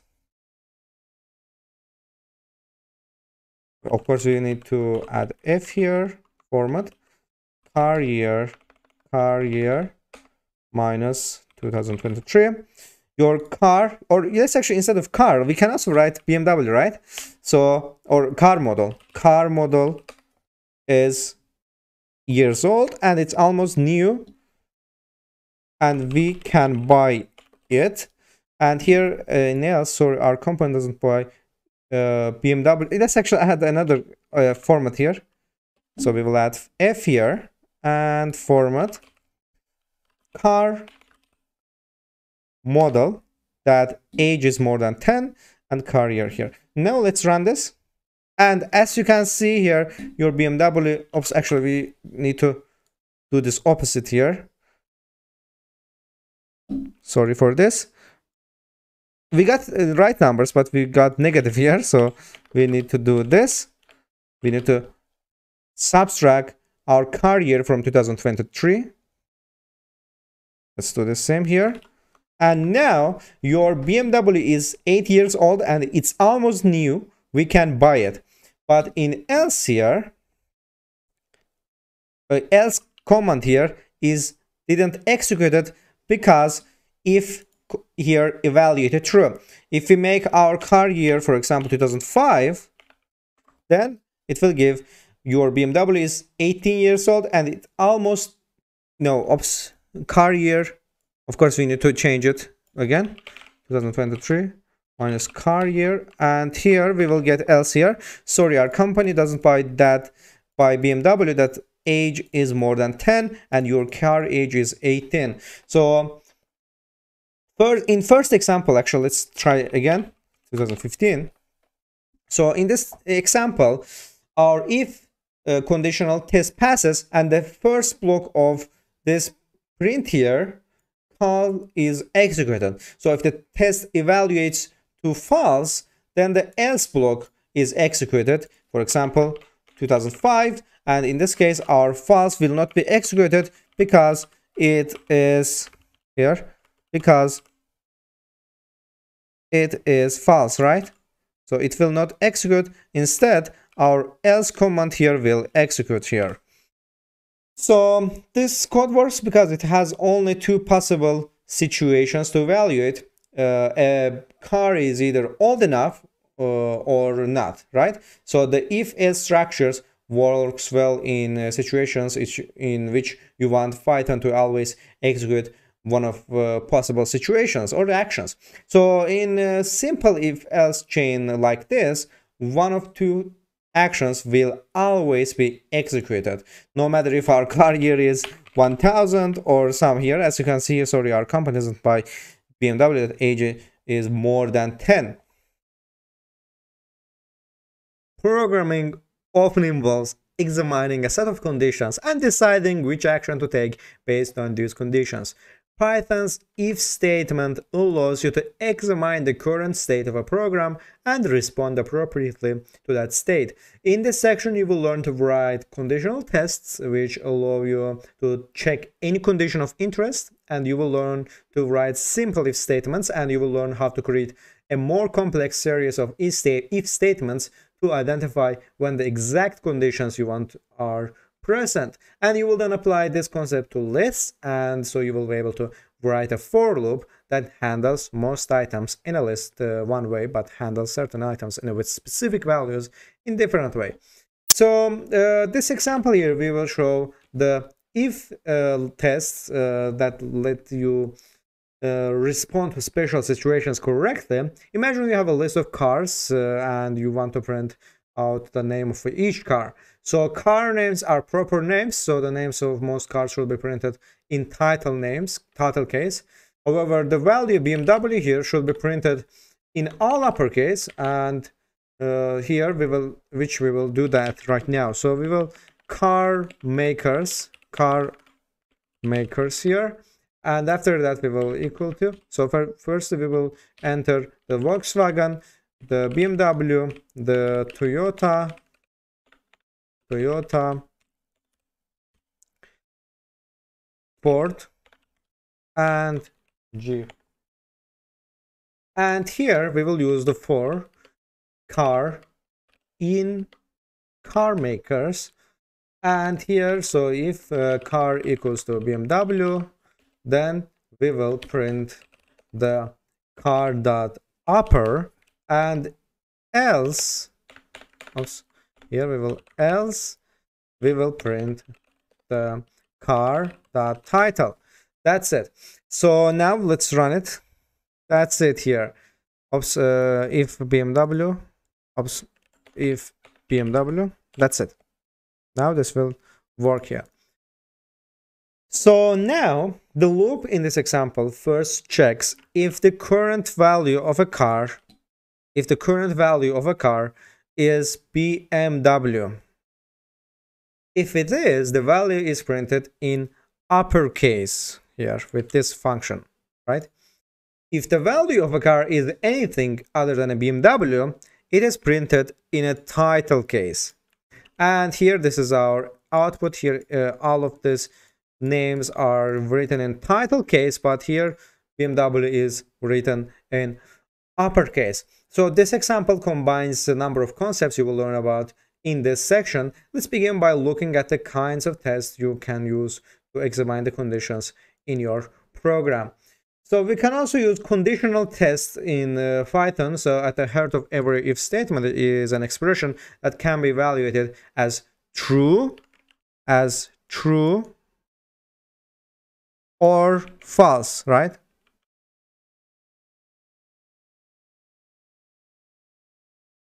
So uh, Python uses the values uh, true and false to decide to decide whether the code is um, in an if statement should be executed or not. So if a conditional test evaluates true, then Python executes the code following the if statement. So if the test evaluates false, Python ignores the code following the if statement. Uh, we can also check for equality. So the most conditional tests compare the current value of a variable the specific value of interest. So uh, the simplest conditional test uh, check test checks whether the value of a variable is equal to the value of an interest. In order to do that, we will just delete for now uh, the, our for loop and we will print here. Now, car equals BMW here. Or let's actually instead of writing that let's use car makers. Bmw's index is 1 bmw and bmw here. So now as you can see we got an error. Cannot assign to a function call. So here that is we're gonna get an error if you, try to do that. However if you try this in python console uh, which we will now here we opened our python now you can reach this by using just uh, Python. And here you're to see this Python 64-bit or 32-bit. You just enter that and here you can see the new tab opened. Here, let's actually make it closer. So most conditional tests are compare the current value of a variable to a specific value of interest. Let's create a new value named car here and make it BMW and after that we will check the is car equal to BMW and here you can you can see we got true. So the first line here actually let me get this. So this first line let me fix this. Now here. This first line here sets the value of a car car sets the value of a car to b uh, actual bmw using a single equal sign so here we used the single equal sign here right as you've seen many times already this sign so the next line checks the whether the value of a cars is BMW here. You see here? Oops, actually let's use different color here. So now we are checking this by using a double equal sign. Double equal sign. Here, car is BMW. So this is a equality operator. So and um, so this equality operator here, this is this is name equality operator. Let me actually write that here. This is equality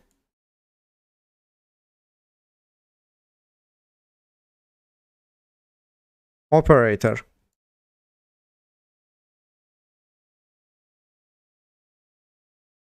So here, this equality operator returns true, like in this case, if the values on the left and the right side of the operator match. In this case, these are matched. So car is actually equals to BMW. Actually, let me use the different color.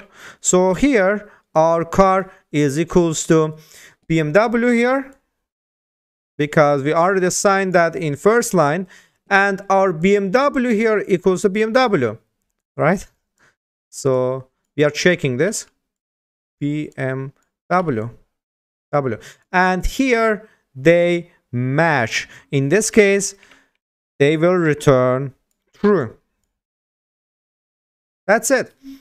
But uh, here, the values in this example match, uh, match, so Python returns true. So when the value of a car is anything other than a BMW, for example, let's try car equal equal uh, the Jeep here, we will get false. If car equal equal uh, uppercase B, MW, we will get false again because these equation, equation, equality operator are case sensitive in strings. So here, we, if we try something, uh, ice cream, ice cream, we will get false again. So that's it here uh, with operator. So a single equal sign is really a statement, and you might read the first line of code here uh, that we are setting um, set the value of a car equal to, uh, for example, Jeep. On the other hand, a double equal sign ask, asks a question. Let me actually write that down. Uh, some new programmers might confuse this with equate uh, initialization here. So this this double equal uh, double equal signs asks the or asks here asks this. We get this text here. This asks this.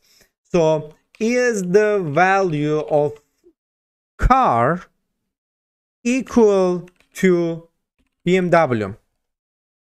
So here our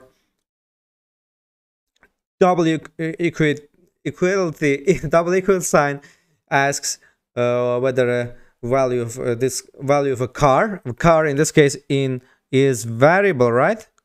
Because we use this car as a variable name and here is the value of car equal to BMW in this case it's equal so it will return true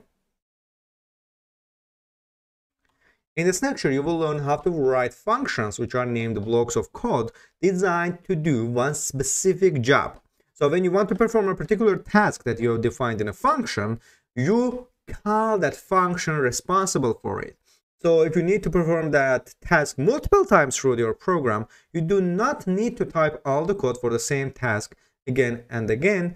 You just call the function dedicated handling that tasks and uh, call tells Python to run the code inside the function.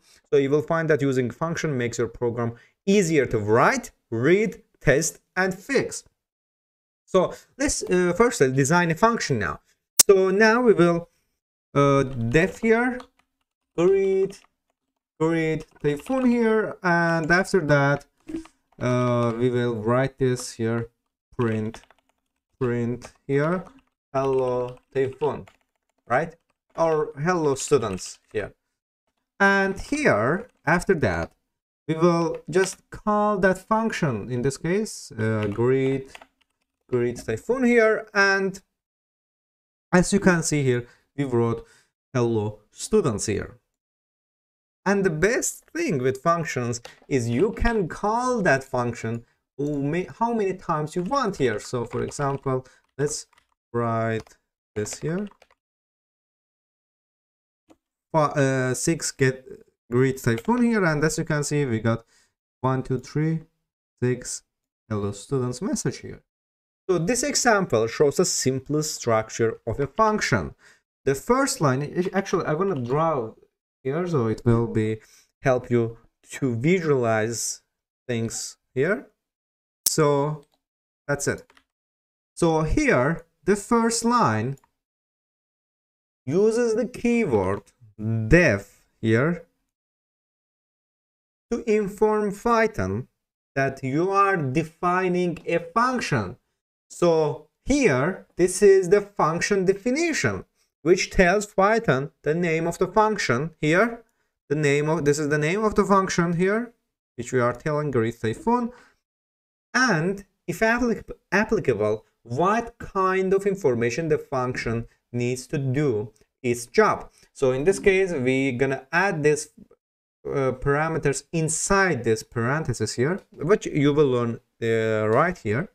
So, and also the parenthesis holds that information. In this case, the name of the function is greet typhoon and in, it needs no information and to do this to do his job right so its parentheses are empty here empty here empty empty here for now so even so, parentheses are required. So if you want to define the function, whether it's empty or not, you need that parenthesis here. So it's a basic syntax. So finally, the definition ends with this colon here. The definition ends with this colon here, right? So any intended lines here, any indent, indent, indented lines that follow greet typhoon makes up the body of the function. So here, we, this is the body of our function here. Let me actually take this here. So here, body of function.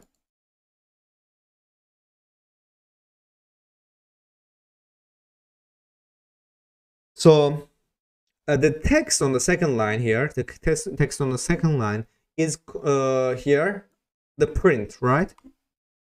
So here this um, it look actually here as you can see this is the hello student but we can also get that parameter from something for example this in this case it's name right?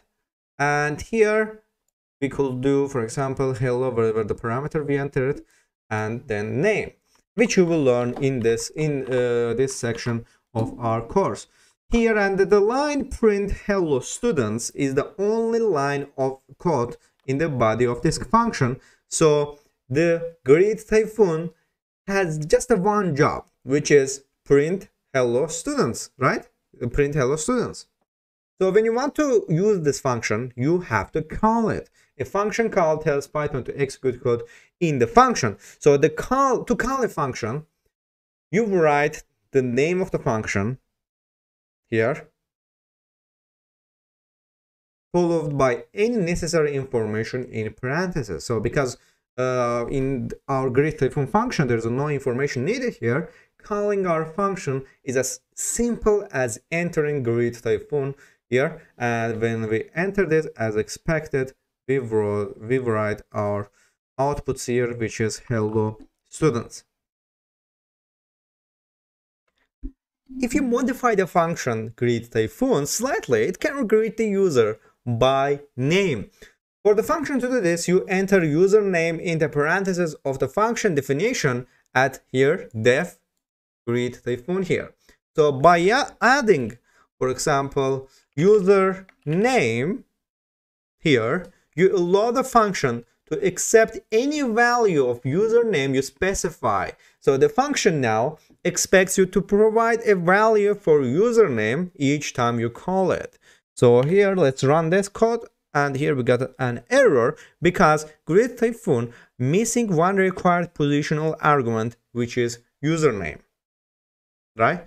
So in order to do uh, get rid of the error, we need to give some uh, give some value in it, right? So for example, let's make it one of our student name, for example, Alex here, Alex. And here we got no error, but uh, here the Alex variable here has no use state. So we, we got to get rid of the error, but we are not using Alex here. So in order to do that, we will write a print function again. So print if hello here, print, we're gonna use format hello dear student and after that we will use username dot upper here for example. So we will write alex name uppercase. And after that we will add this ternary here. That's it. Let's run this. And here hello dear student alex. So entering greet typhoon alex here. Actually let me get this. So entering greet typhoon alex calls greet typhoon and gives the function the information it needs to execute print call. So the function accepts the name you passed it and displays the uh, greeting for the name. So let's actually draw this on the screen, how this is works on diagrams. So here we are getting the name, some username, right? So in this case, let's call this a username and after that, whenever some function or some function call uses it here, the Alex actually goes to here, right? So actually, let me delete that. Here, we will write this again. So here, this Alex, we are giving this Alex to this username, right?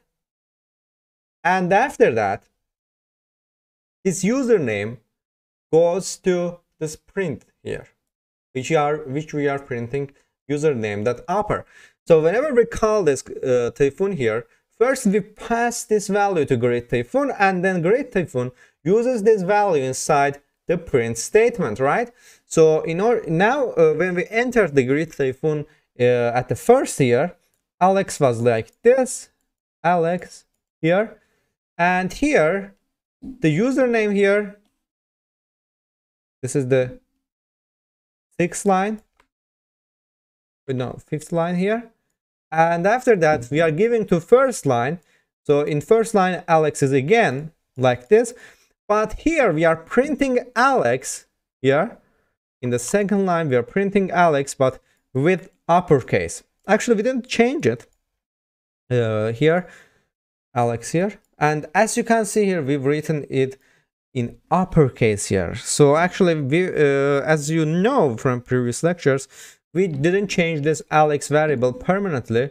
So if we use that without, again, without the upper method of strings, we will get the Alex that we wrote here.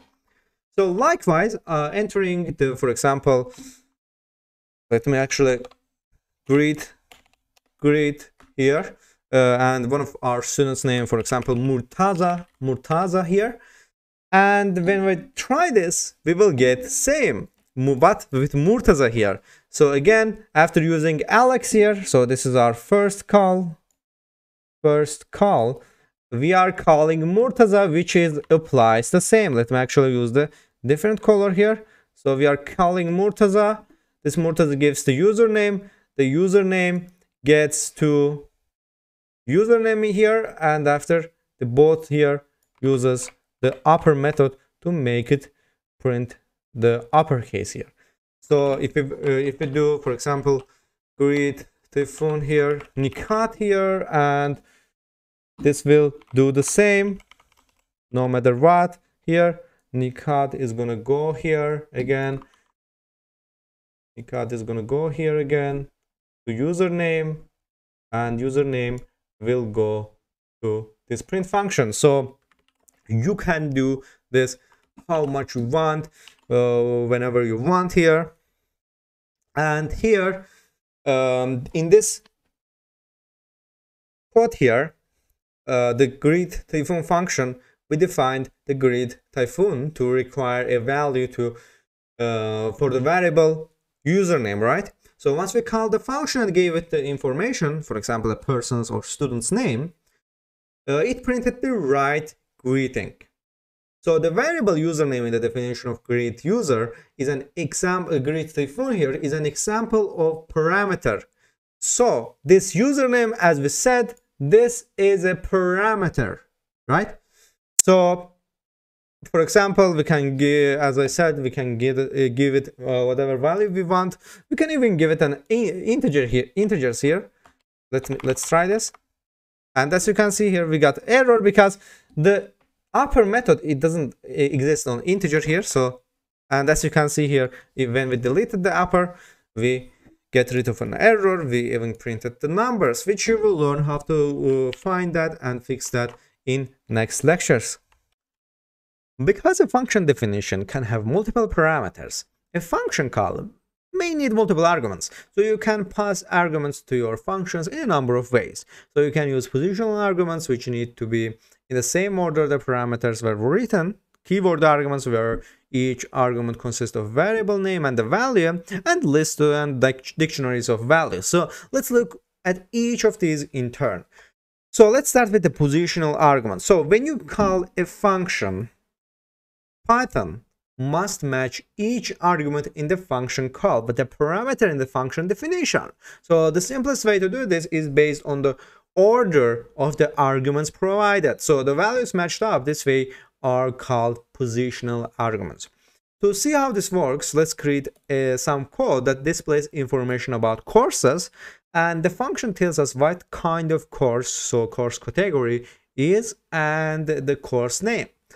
So here we will define, uh, describe, or get course here, print course here, and we will, and actually instead of writing this, yeah, uh, output or display, yes, display course here, we will enter course here. So as a first parameter, we're gonna use the course category or course topic, it, it's gonna more here. So course topic and after that we will use comma here and course name. That's it. And after that we will use double uh, dot here. And here we will use uh, the comments which is display information about course here. And after that we will print using the format. So print here f and new line of course after that. So the course name course name actually instead of let's add another parameter and named course duration. Or yeah course course hours. Yeah course course hours here. So first we will enter the course topic and after that we will enter the course topic name course topic and again we will print the again format. And after that we will enter the sorry yes here. And after that we will enter the course name course name here. And now we will enter course name again. And after that we will again add a new last print function. In this case, it's course hours. Hours here. Oops, course hours. And after that, we will again add the course hours here. That's it. And after that, for example, we will enter uh, the um, display course, display course uh, here, and course topic, for example, Python um, with Nihat here, and course name. The course topic is course uh, here. We, uh, we will in course name learn Python in short, learn Python fast and hard way, hard way by Nihat here. And after that, we will add another here, course hours, which is three hours. Or actually, instead of writing this, let's make course hours integer here. And we will change this course hours and hours here. That's it. So we are taking two strings and one integer. That's it. Now let's explain this code here. So the definition shows this function needs a type of um, course. Uh, so when we call the display course, we need to provide an course topic and course name and course hours, right? In that order. So first we need to enter the course topic here according to this. Oops, here. Course. Actually, instead of writing this. So firstly, we are entering the course topic. And then this is our course name. And after that, we are entering the course hours, right? So for example, in this function call, the argument Python is assigned to course topic. And in the function body, these two param uh, these three parameters are used to display information about the course. Uh, and we are describing the course here. Now, uh, what we're gonna do is here, for example, firstly, we are entering the course topic, we are, which we are getting from here. And then we are entering the course name which we are getting from the second parameter. And writing this. And then we are getting the course hours which is an integer type. And here we are adding course hours here. Now let's uh, try the output here. Let's see what we are what this gonna show here.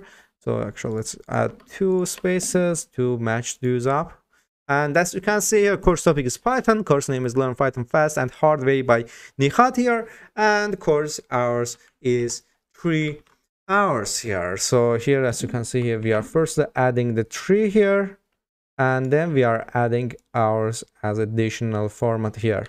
That's it. So we can also add another uh, variables or functions as well. So let's call another here, display course uh, car coolant or actually let's use the python or r programming here and learn r programming. Oops, of course it's going to be a string. Learn r programming or actually let's make different name r programming master class master class by Nikat here. The course hours is going to be for example 10 hours and after that we are going to show this again and as you can see here we got this output here course topic in python here we are firstly printing python and then we are printing the uh, R programming, course topic our programming, course name our programming, masterclass by Nihat, and course hours is 10 hours. And as you can see, this is the how we shorted our course here uh, with just adding a function uh, into our code here. A keyword argument is a name value pair that you pass to a function. So you directly associate the name and the value within the argument. So when you pass the argument to the function, there's a new confusion and you won't end up with the, for example, course topic named course hours, right? So Keyword arguments free you from having to worry about correctly ordering your arguments in the function call, and uh, they clarify the role of each value in the function call. So now let's uh, rewrite our program using uh, this keyword arguments to call, for example, uh, to call display course here. Now uh, what we're gonna do is course hours here, as you can see here, and course uh, here. And now we can also when we call display course right? So we will also mix these up here right?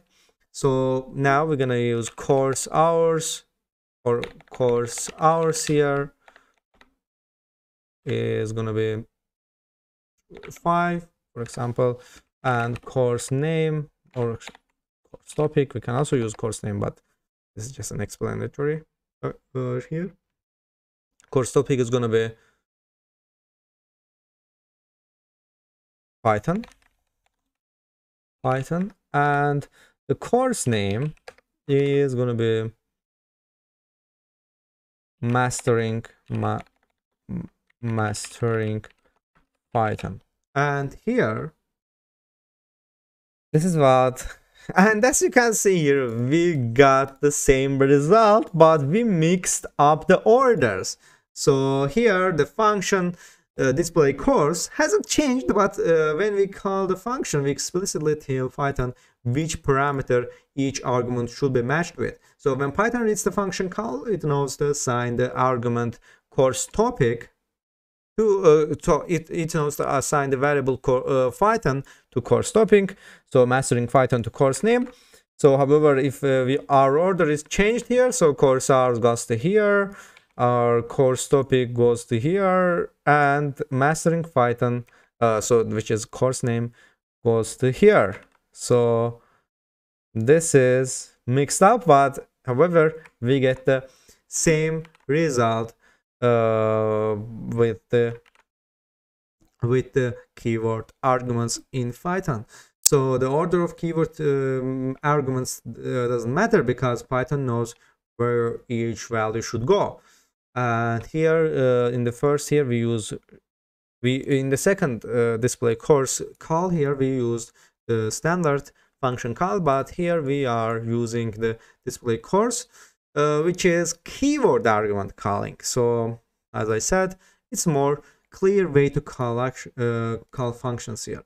So we also have a default values in functions. So when writing a function you can define a default value for each parameter. So if an argument for parameter is provided in the function call, Python uses the argument value. So if not, it uses the parameter's default value. So um, when you define a default value for a parameter, you can exclude the corresponding argument you'd usually write in the function call. So using default values, you can simplify your function calls and clarify the ways your functions are typically used. For example, if you notice that the most of the calls of this display course are being used uh, to describe courses. So um, you can set the default value of the course type to just an online course. And now anyone calling the uh, display course uh, for a course, online course can omit uh, that information. Uh, and here we, what we're gonna do here is, uh, let's actually delete these lines. So here, so course topic is gonna be uh, just an online course online course here. So oops, sorry.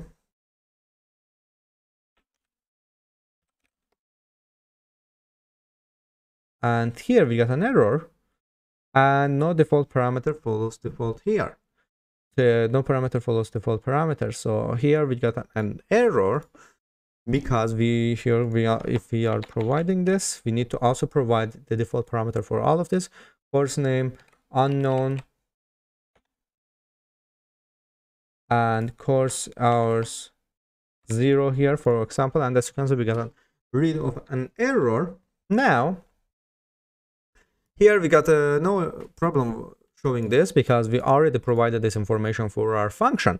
But if we enter some values. For example, if we display course, we just know that this course um, name, we will do this.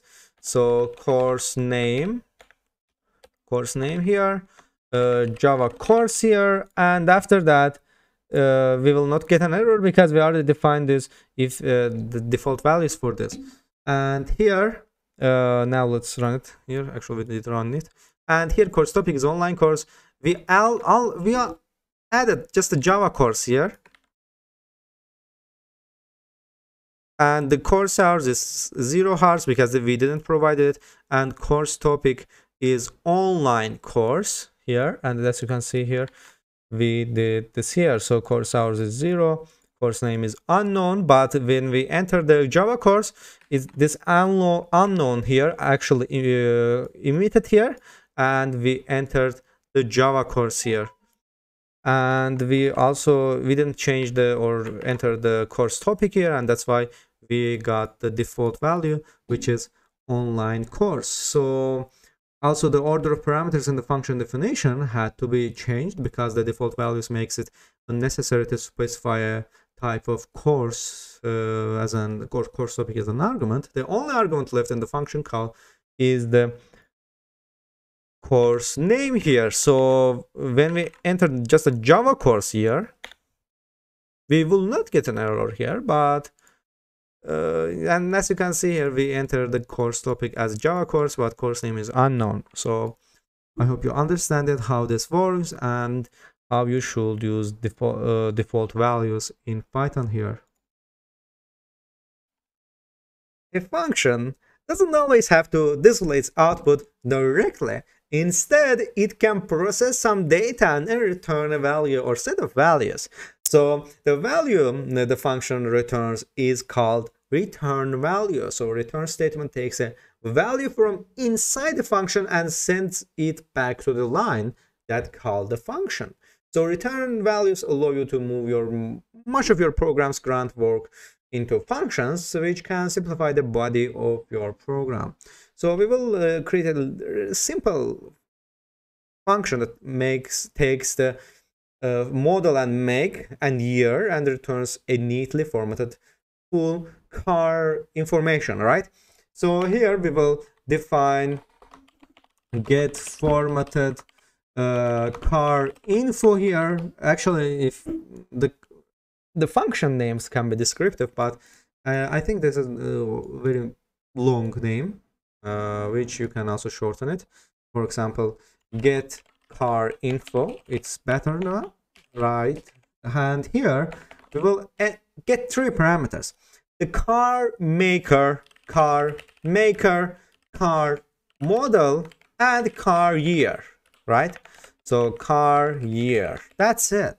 And here we will add another command to return a full full car info here. And after that we will create a car info here. And we will enter the format of course as we always do. And first we're gonna enter car maker. Car maker but we will write car maker in uppercase upper here. And after that we will use the car model. With car model we will use uh, let's use the title. Is okay for car model.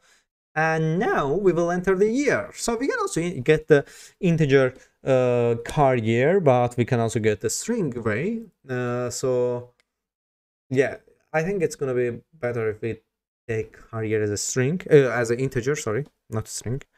And now we will just print the car model. So here oops we, we, did, we did some error here actually. And after that uh, we will enter car make uh, car model dot title. And after that we are entering we will enter the car year. So and here your car model or car info here in uppercase. And we will enter new lines every time we start this line and after that return return the car info. That's it. And here yeah return the car info return the parentheses here because this is the variable and not function here. Car info is not function. This is variable. We created variable from these parameters. And here we will uh, let's make it BMW here and we will use the get car info. First we're gonna enter the car maker. Let's uh, make it BMW and car model 528 of uh, we will enter it in strings. 528e here uh, which e means here is injection. It's a gasoline here in most car manufacturers. And we're gonna enter also car year for example around uh, 2016 and now we will print the BMW that's it. And here as you can see car info BMW 528e and the year is 2016 so we can also use for example in Volvo Volvo uh, so my Volvo here Volvo here and get car info Volvo Volvo Volvo S40 or yeah S40 is okay. Uh, and 2008 here. We can also add another BMW car. BMW or let's add Volkswagen now. Volkswagen car here. Get car info. And Volkswagen. And Golf. Golf 7 and the year is 2014 that's it and here as you can see here of, of course we need to print use again. Print my Volvo here. My Volvo. And of course let's actually use this with formatting. My Volvo uh, is best here. And after that we will enter the my Volvo variable and print Volkswagen car. Uh, and here. We will add format. Volkswagen is the best here. We can also and after that we will enter this here and that's it.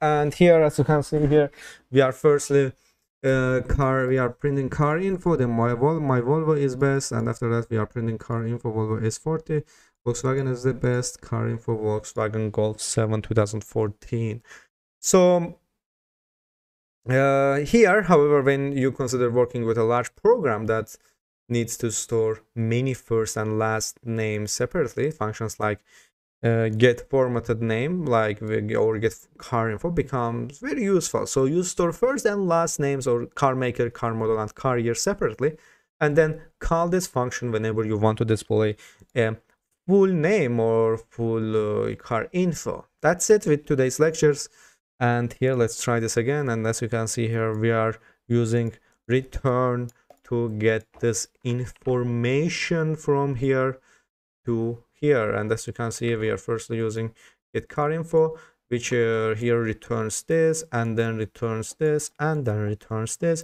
And after that we are printing this. In first we didn't use any variables to print in BMW and after that we added format and entered my Volvo and then Volkswagen is the best and after that we are entered formatted info of Volkswagen car Object-oriented programming is one of the most effective approaches to writing software. In object-oriented programming, you write classes that represent real-world things and situations. So, and you create objects based on these classes. So when you write a class, you define the general behavior that a whole category of objects can have. So when you create individual objects from the class, each object is automatically equipped with general behavior. So you can then give each object whatever unique traits you desire. And you will be amazed how well real-world situations can be modeled with object-oriented programming. So making an object from a class is called instantiation so and you work with instances of a class so in this section you will write classes and create instances of these classes and you will specify the kind of information that can be stored in instances and you will define actions uh, that can be taken with these instances so you will also write classes that extend the functionality of existing classes uh, so similar classes can share common functionality and you can do more with less code. So you will store your classes in modules and import classes written by other programmings into your program files. So learning about object-oriented programming will help you see the world as a programmer or coder does. So it will help you understand your programs and not just what's happening line by line, code by code, but also bigger window here and bigger concepts behind it. So knowing the logic behind classes or object-oriented programming will treat you think logically so you can write programs that effectively address almost any problem you encounter. So classes also make life easier for you and other programmers and uh, you will work with as you take increasingly complex challenges. So when you and other programs write code or programs based on the same kind of logic, you will be able to understand each other's work. And your programs will make sense to the people you work with, allowing everyone to accomplish more. So you can model almost anything using classes. Now we will write a simple class, which here we will create a car. Uh, the, that represents car, but not one car in particular, but any car. So what do we know about most cars? Well, they all have car makers, they all have models and years, and we also know that the uh, most cars are automatic or manual, right? So use three pieces of information, which is car model, make, and year, and use behaviors, which is uh, automatic and manuals, will go in our car class because they are common to most cars. So this class will tell Python to make a new ob object representing a car. After our class is written, we will use it to make individual instances. So each of uh, which represents one specific class. So now we're going to create a, a car class. So each instance created from the car class will store a car model and make uh, this will be same variable and year and we will give each car the ability to uh, drive and stop. Or actually we can also add automatic and manual but yeah we will decide that here. So class car here class car and here we will add uh, just a simple simple program that x uh, that written written for cars. And here we will use init but, but you will learn what init is. So init here and we will add self name uh, or car model. Make and model car make and model. And after that we will enter the year. And after that we will here we are initializing uh, initial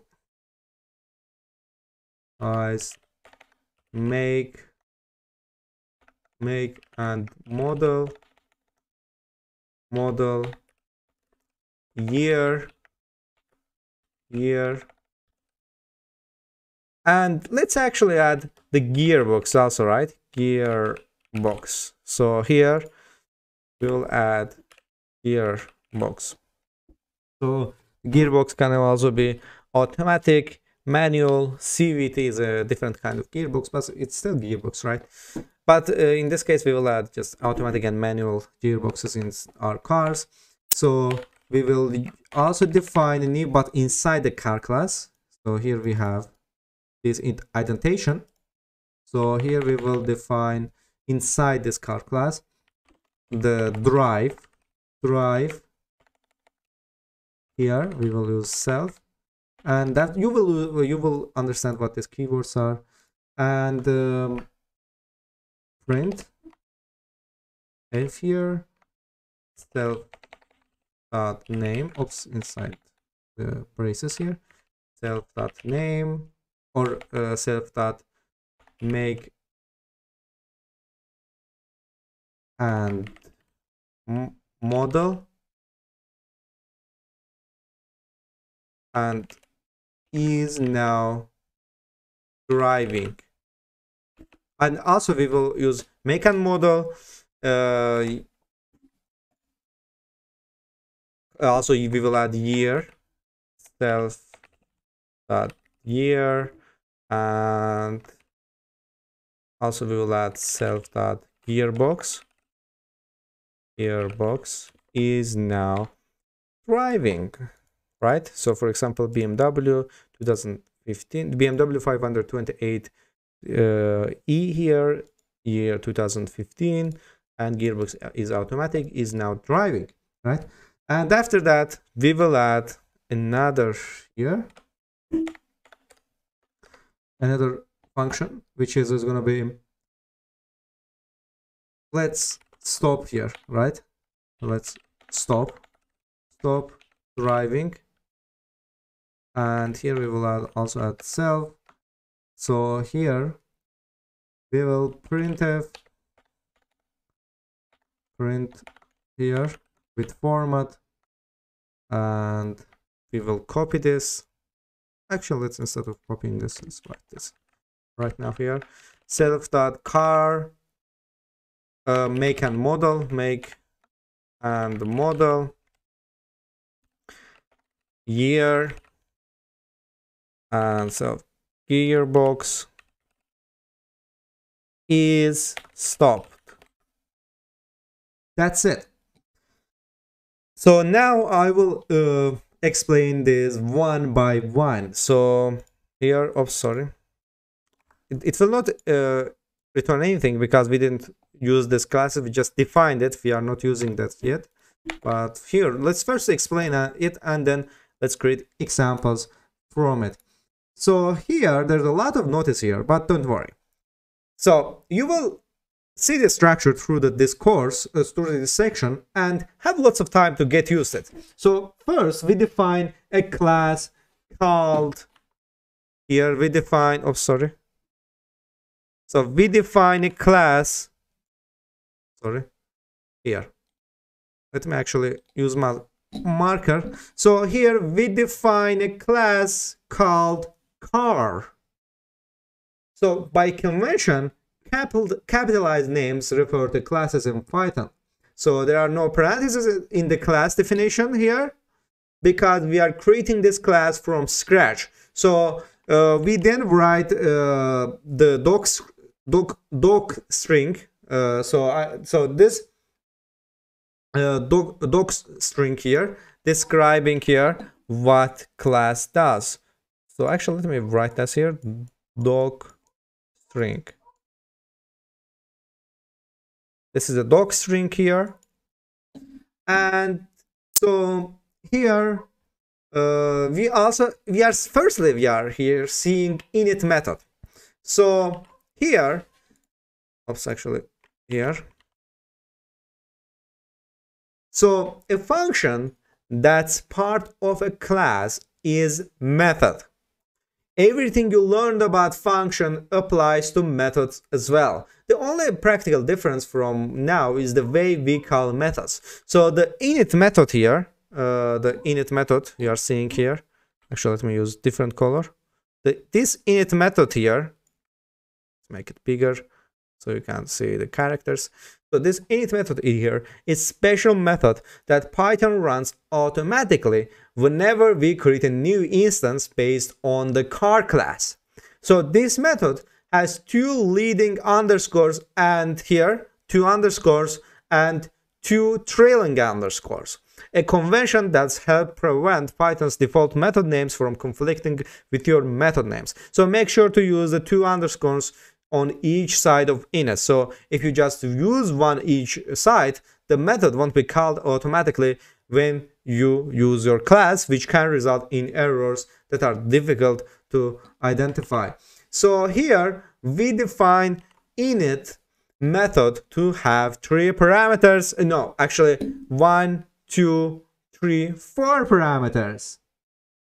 The self, actually let me, yes, here, the self make and model, year, and gearbox, right? So the self parameter is required in the method definition.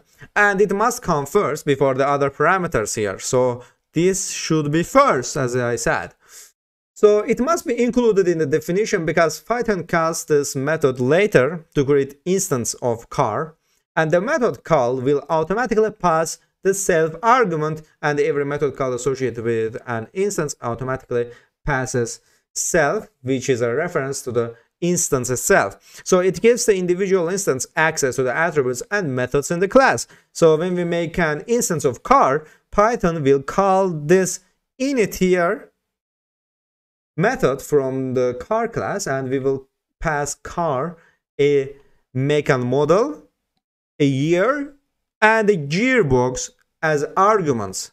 And self here is passed automatically so we don't need to pass it so whenever we want to make an instance from the, our car class we will provide values for only the last parameters uh, which is make and model year and gearbox and not self here so the two variables are defined in the body of the init method each have the prefix self here here self self and self self. Actually not this here. Self and self right?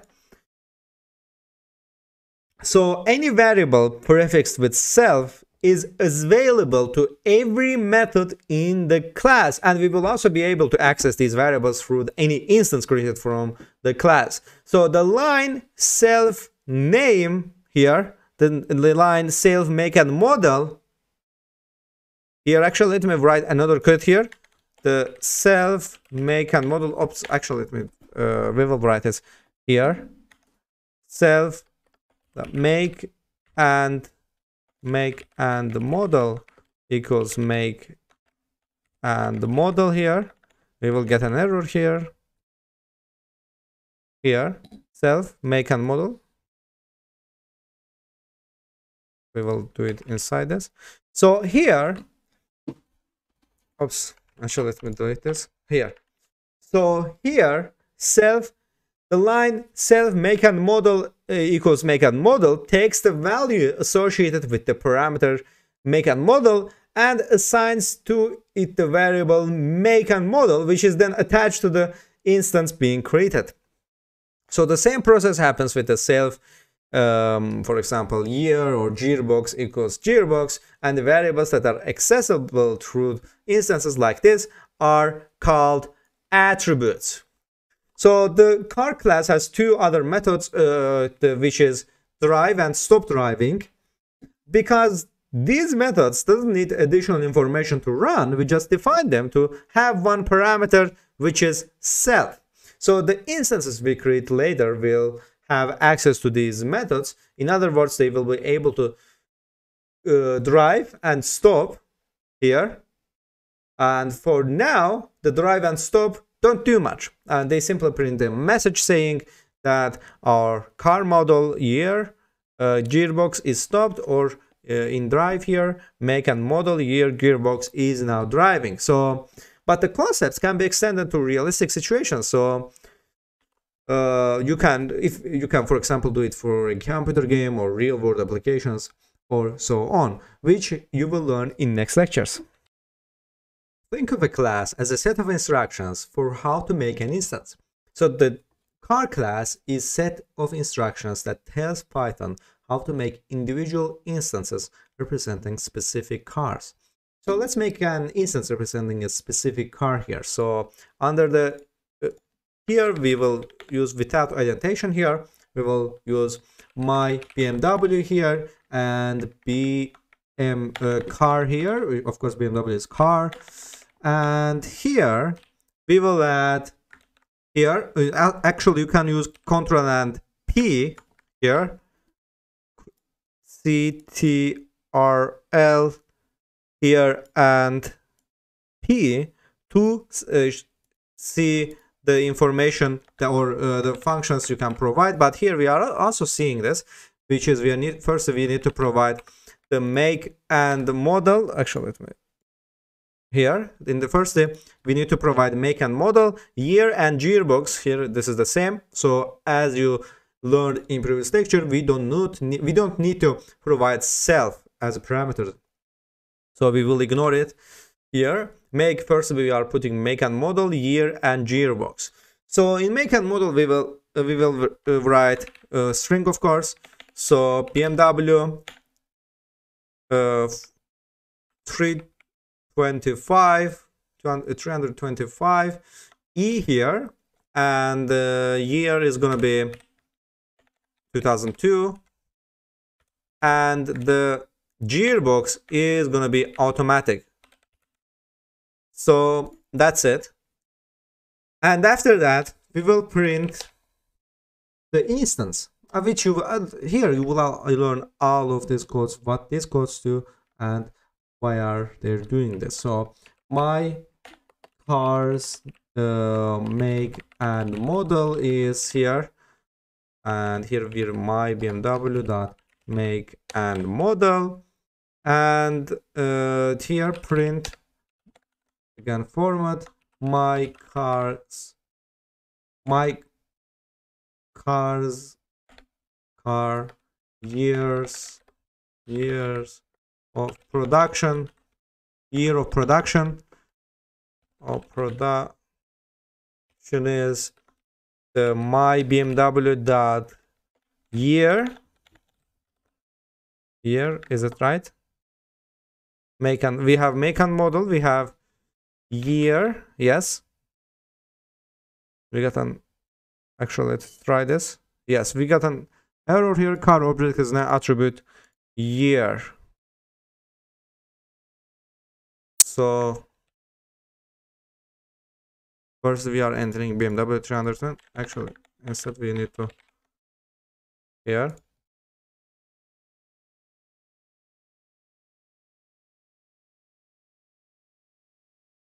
My BMW dot year.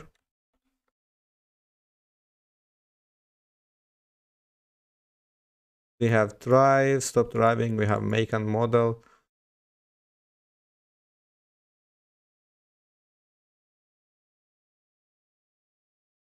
of course we need to make it like this self dot we forgot this here self year year here self gearbox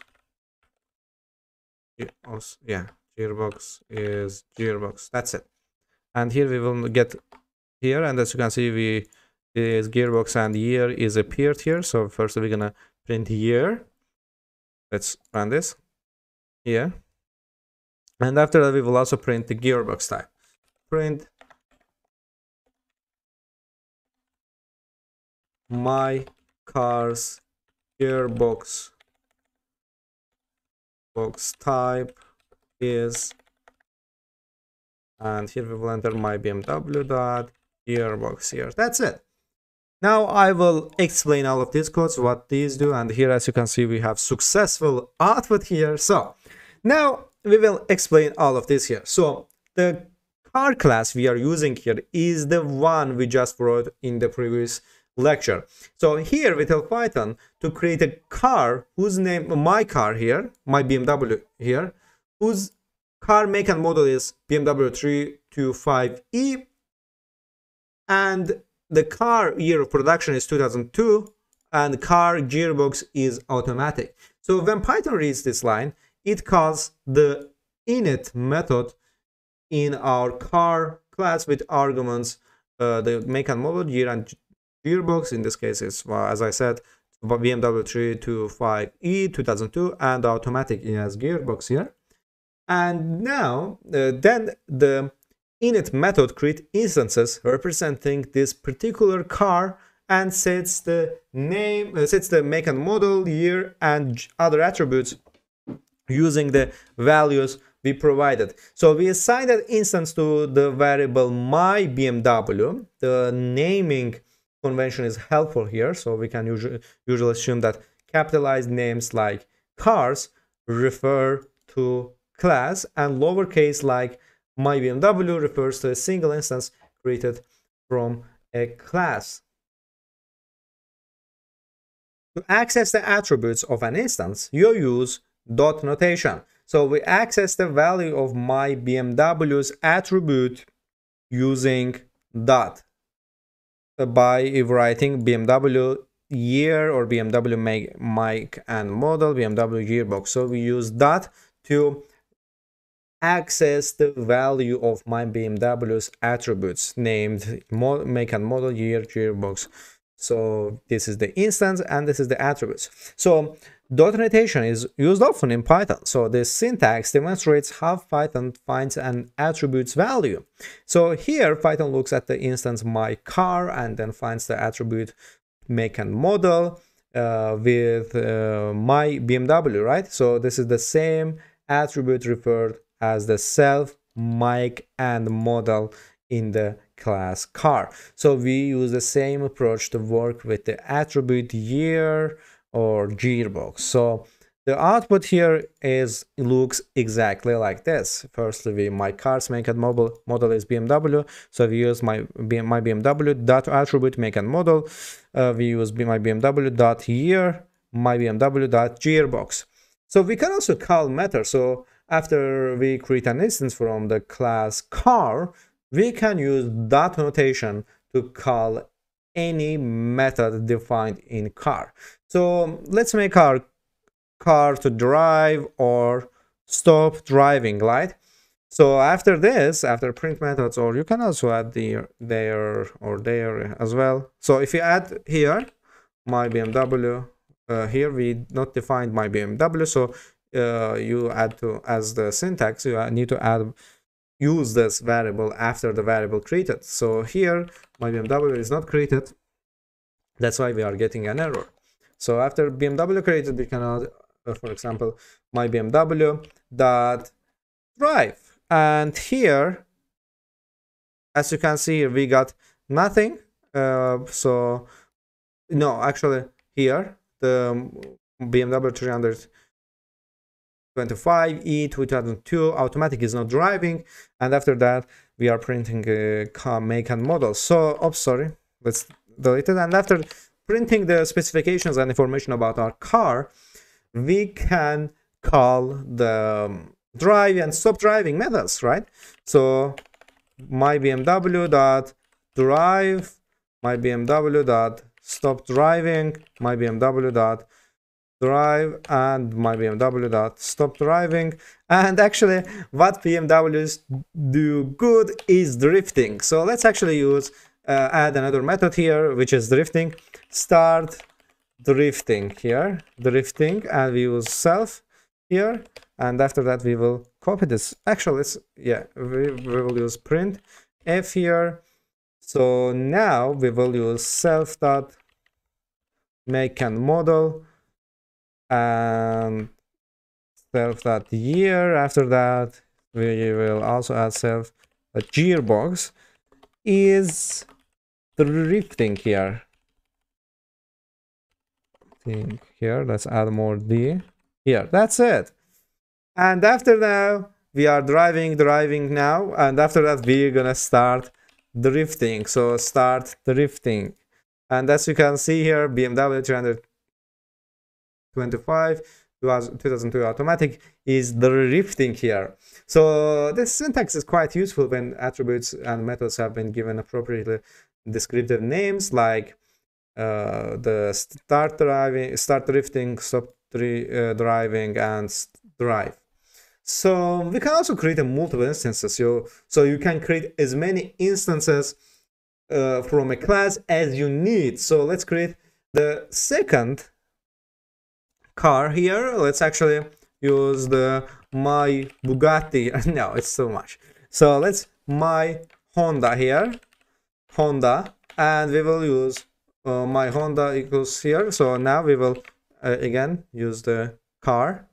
Or actually we can also use the create a Honda here. It's here. So BMW or it's Honda, right?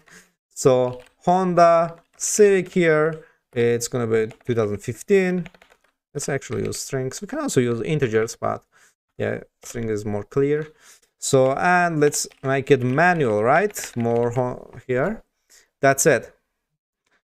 And here after that we can also use my honda here my on oops my honda that, for example.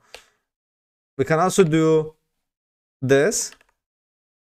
My my instead we can also change my my bmw to my honda so we will get same result but different values.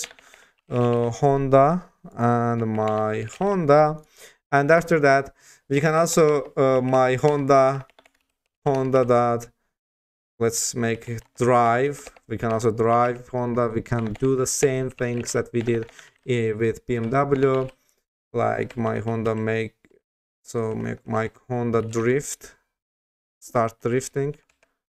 That's it. We can also add honda inside after the uh, bmw because honda is defined here and we are adding our code here. Now let's run this. And here this is uh, the output successfully. We here this is a lot of output right? So this is the output here.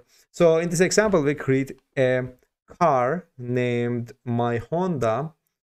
And here each uh, car here my bmw and my honda is separate instance with its own set of attributes capable uh, of the same set of functions so here uh, my car make and model is BMW 325e. For example, my car make and model is Honda Civic uh, here, and my my car's years of production is 2015, and my car's years of production is 2002. So this is how we work with the classes and their instances, and see you in next lecture. Thank you for watching.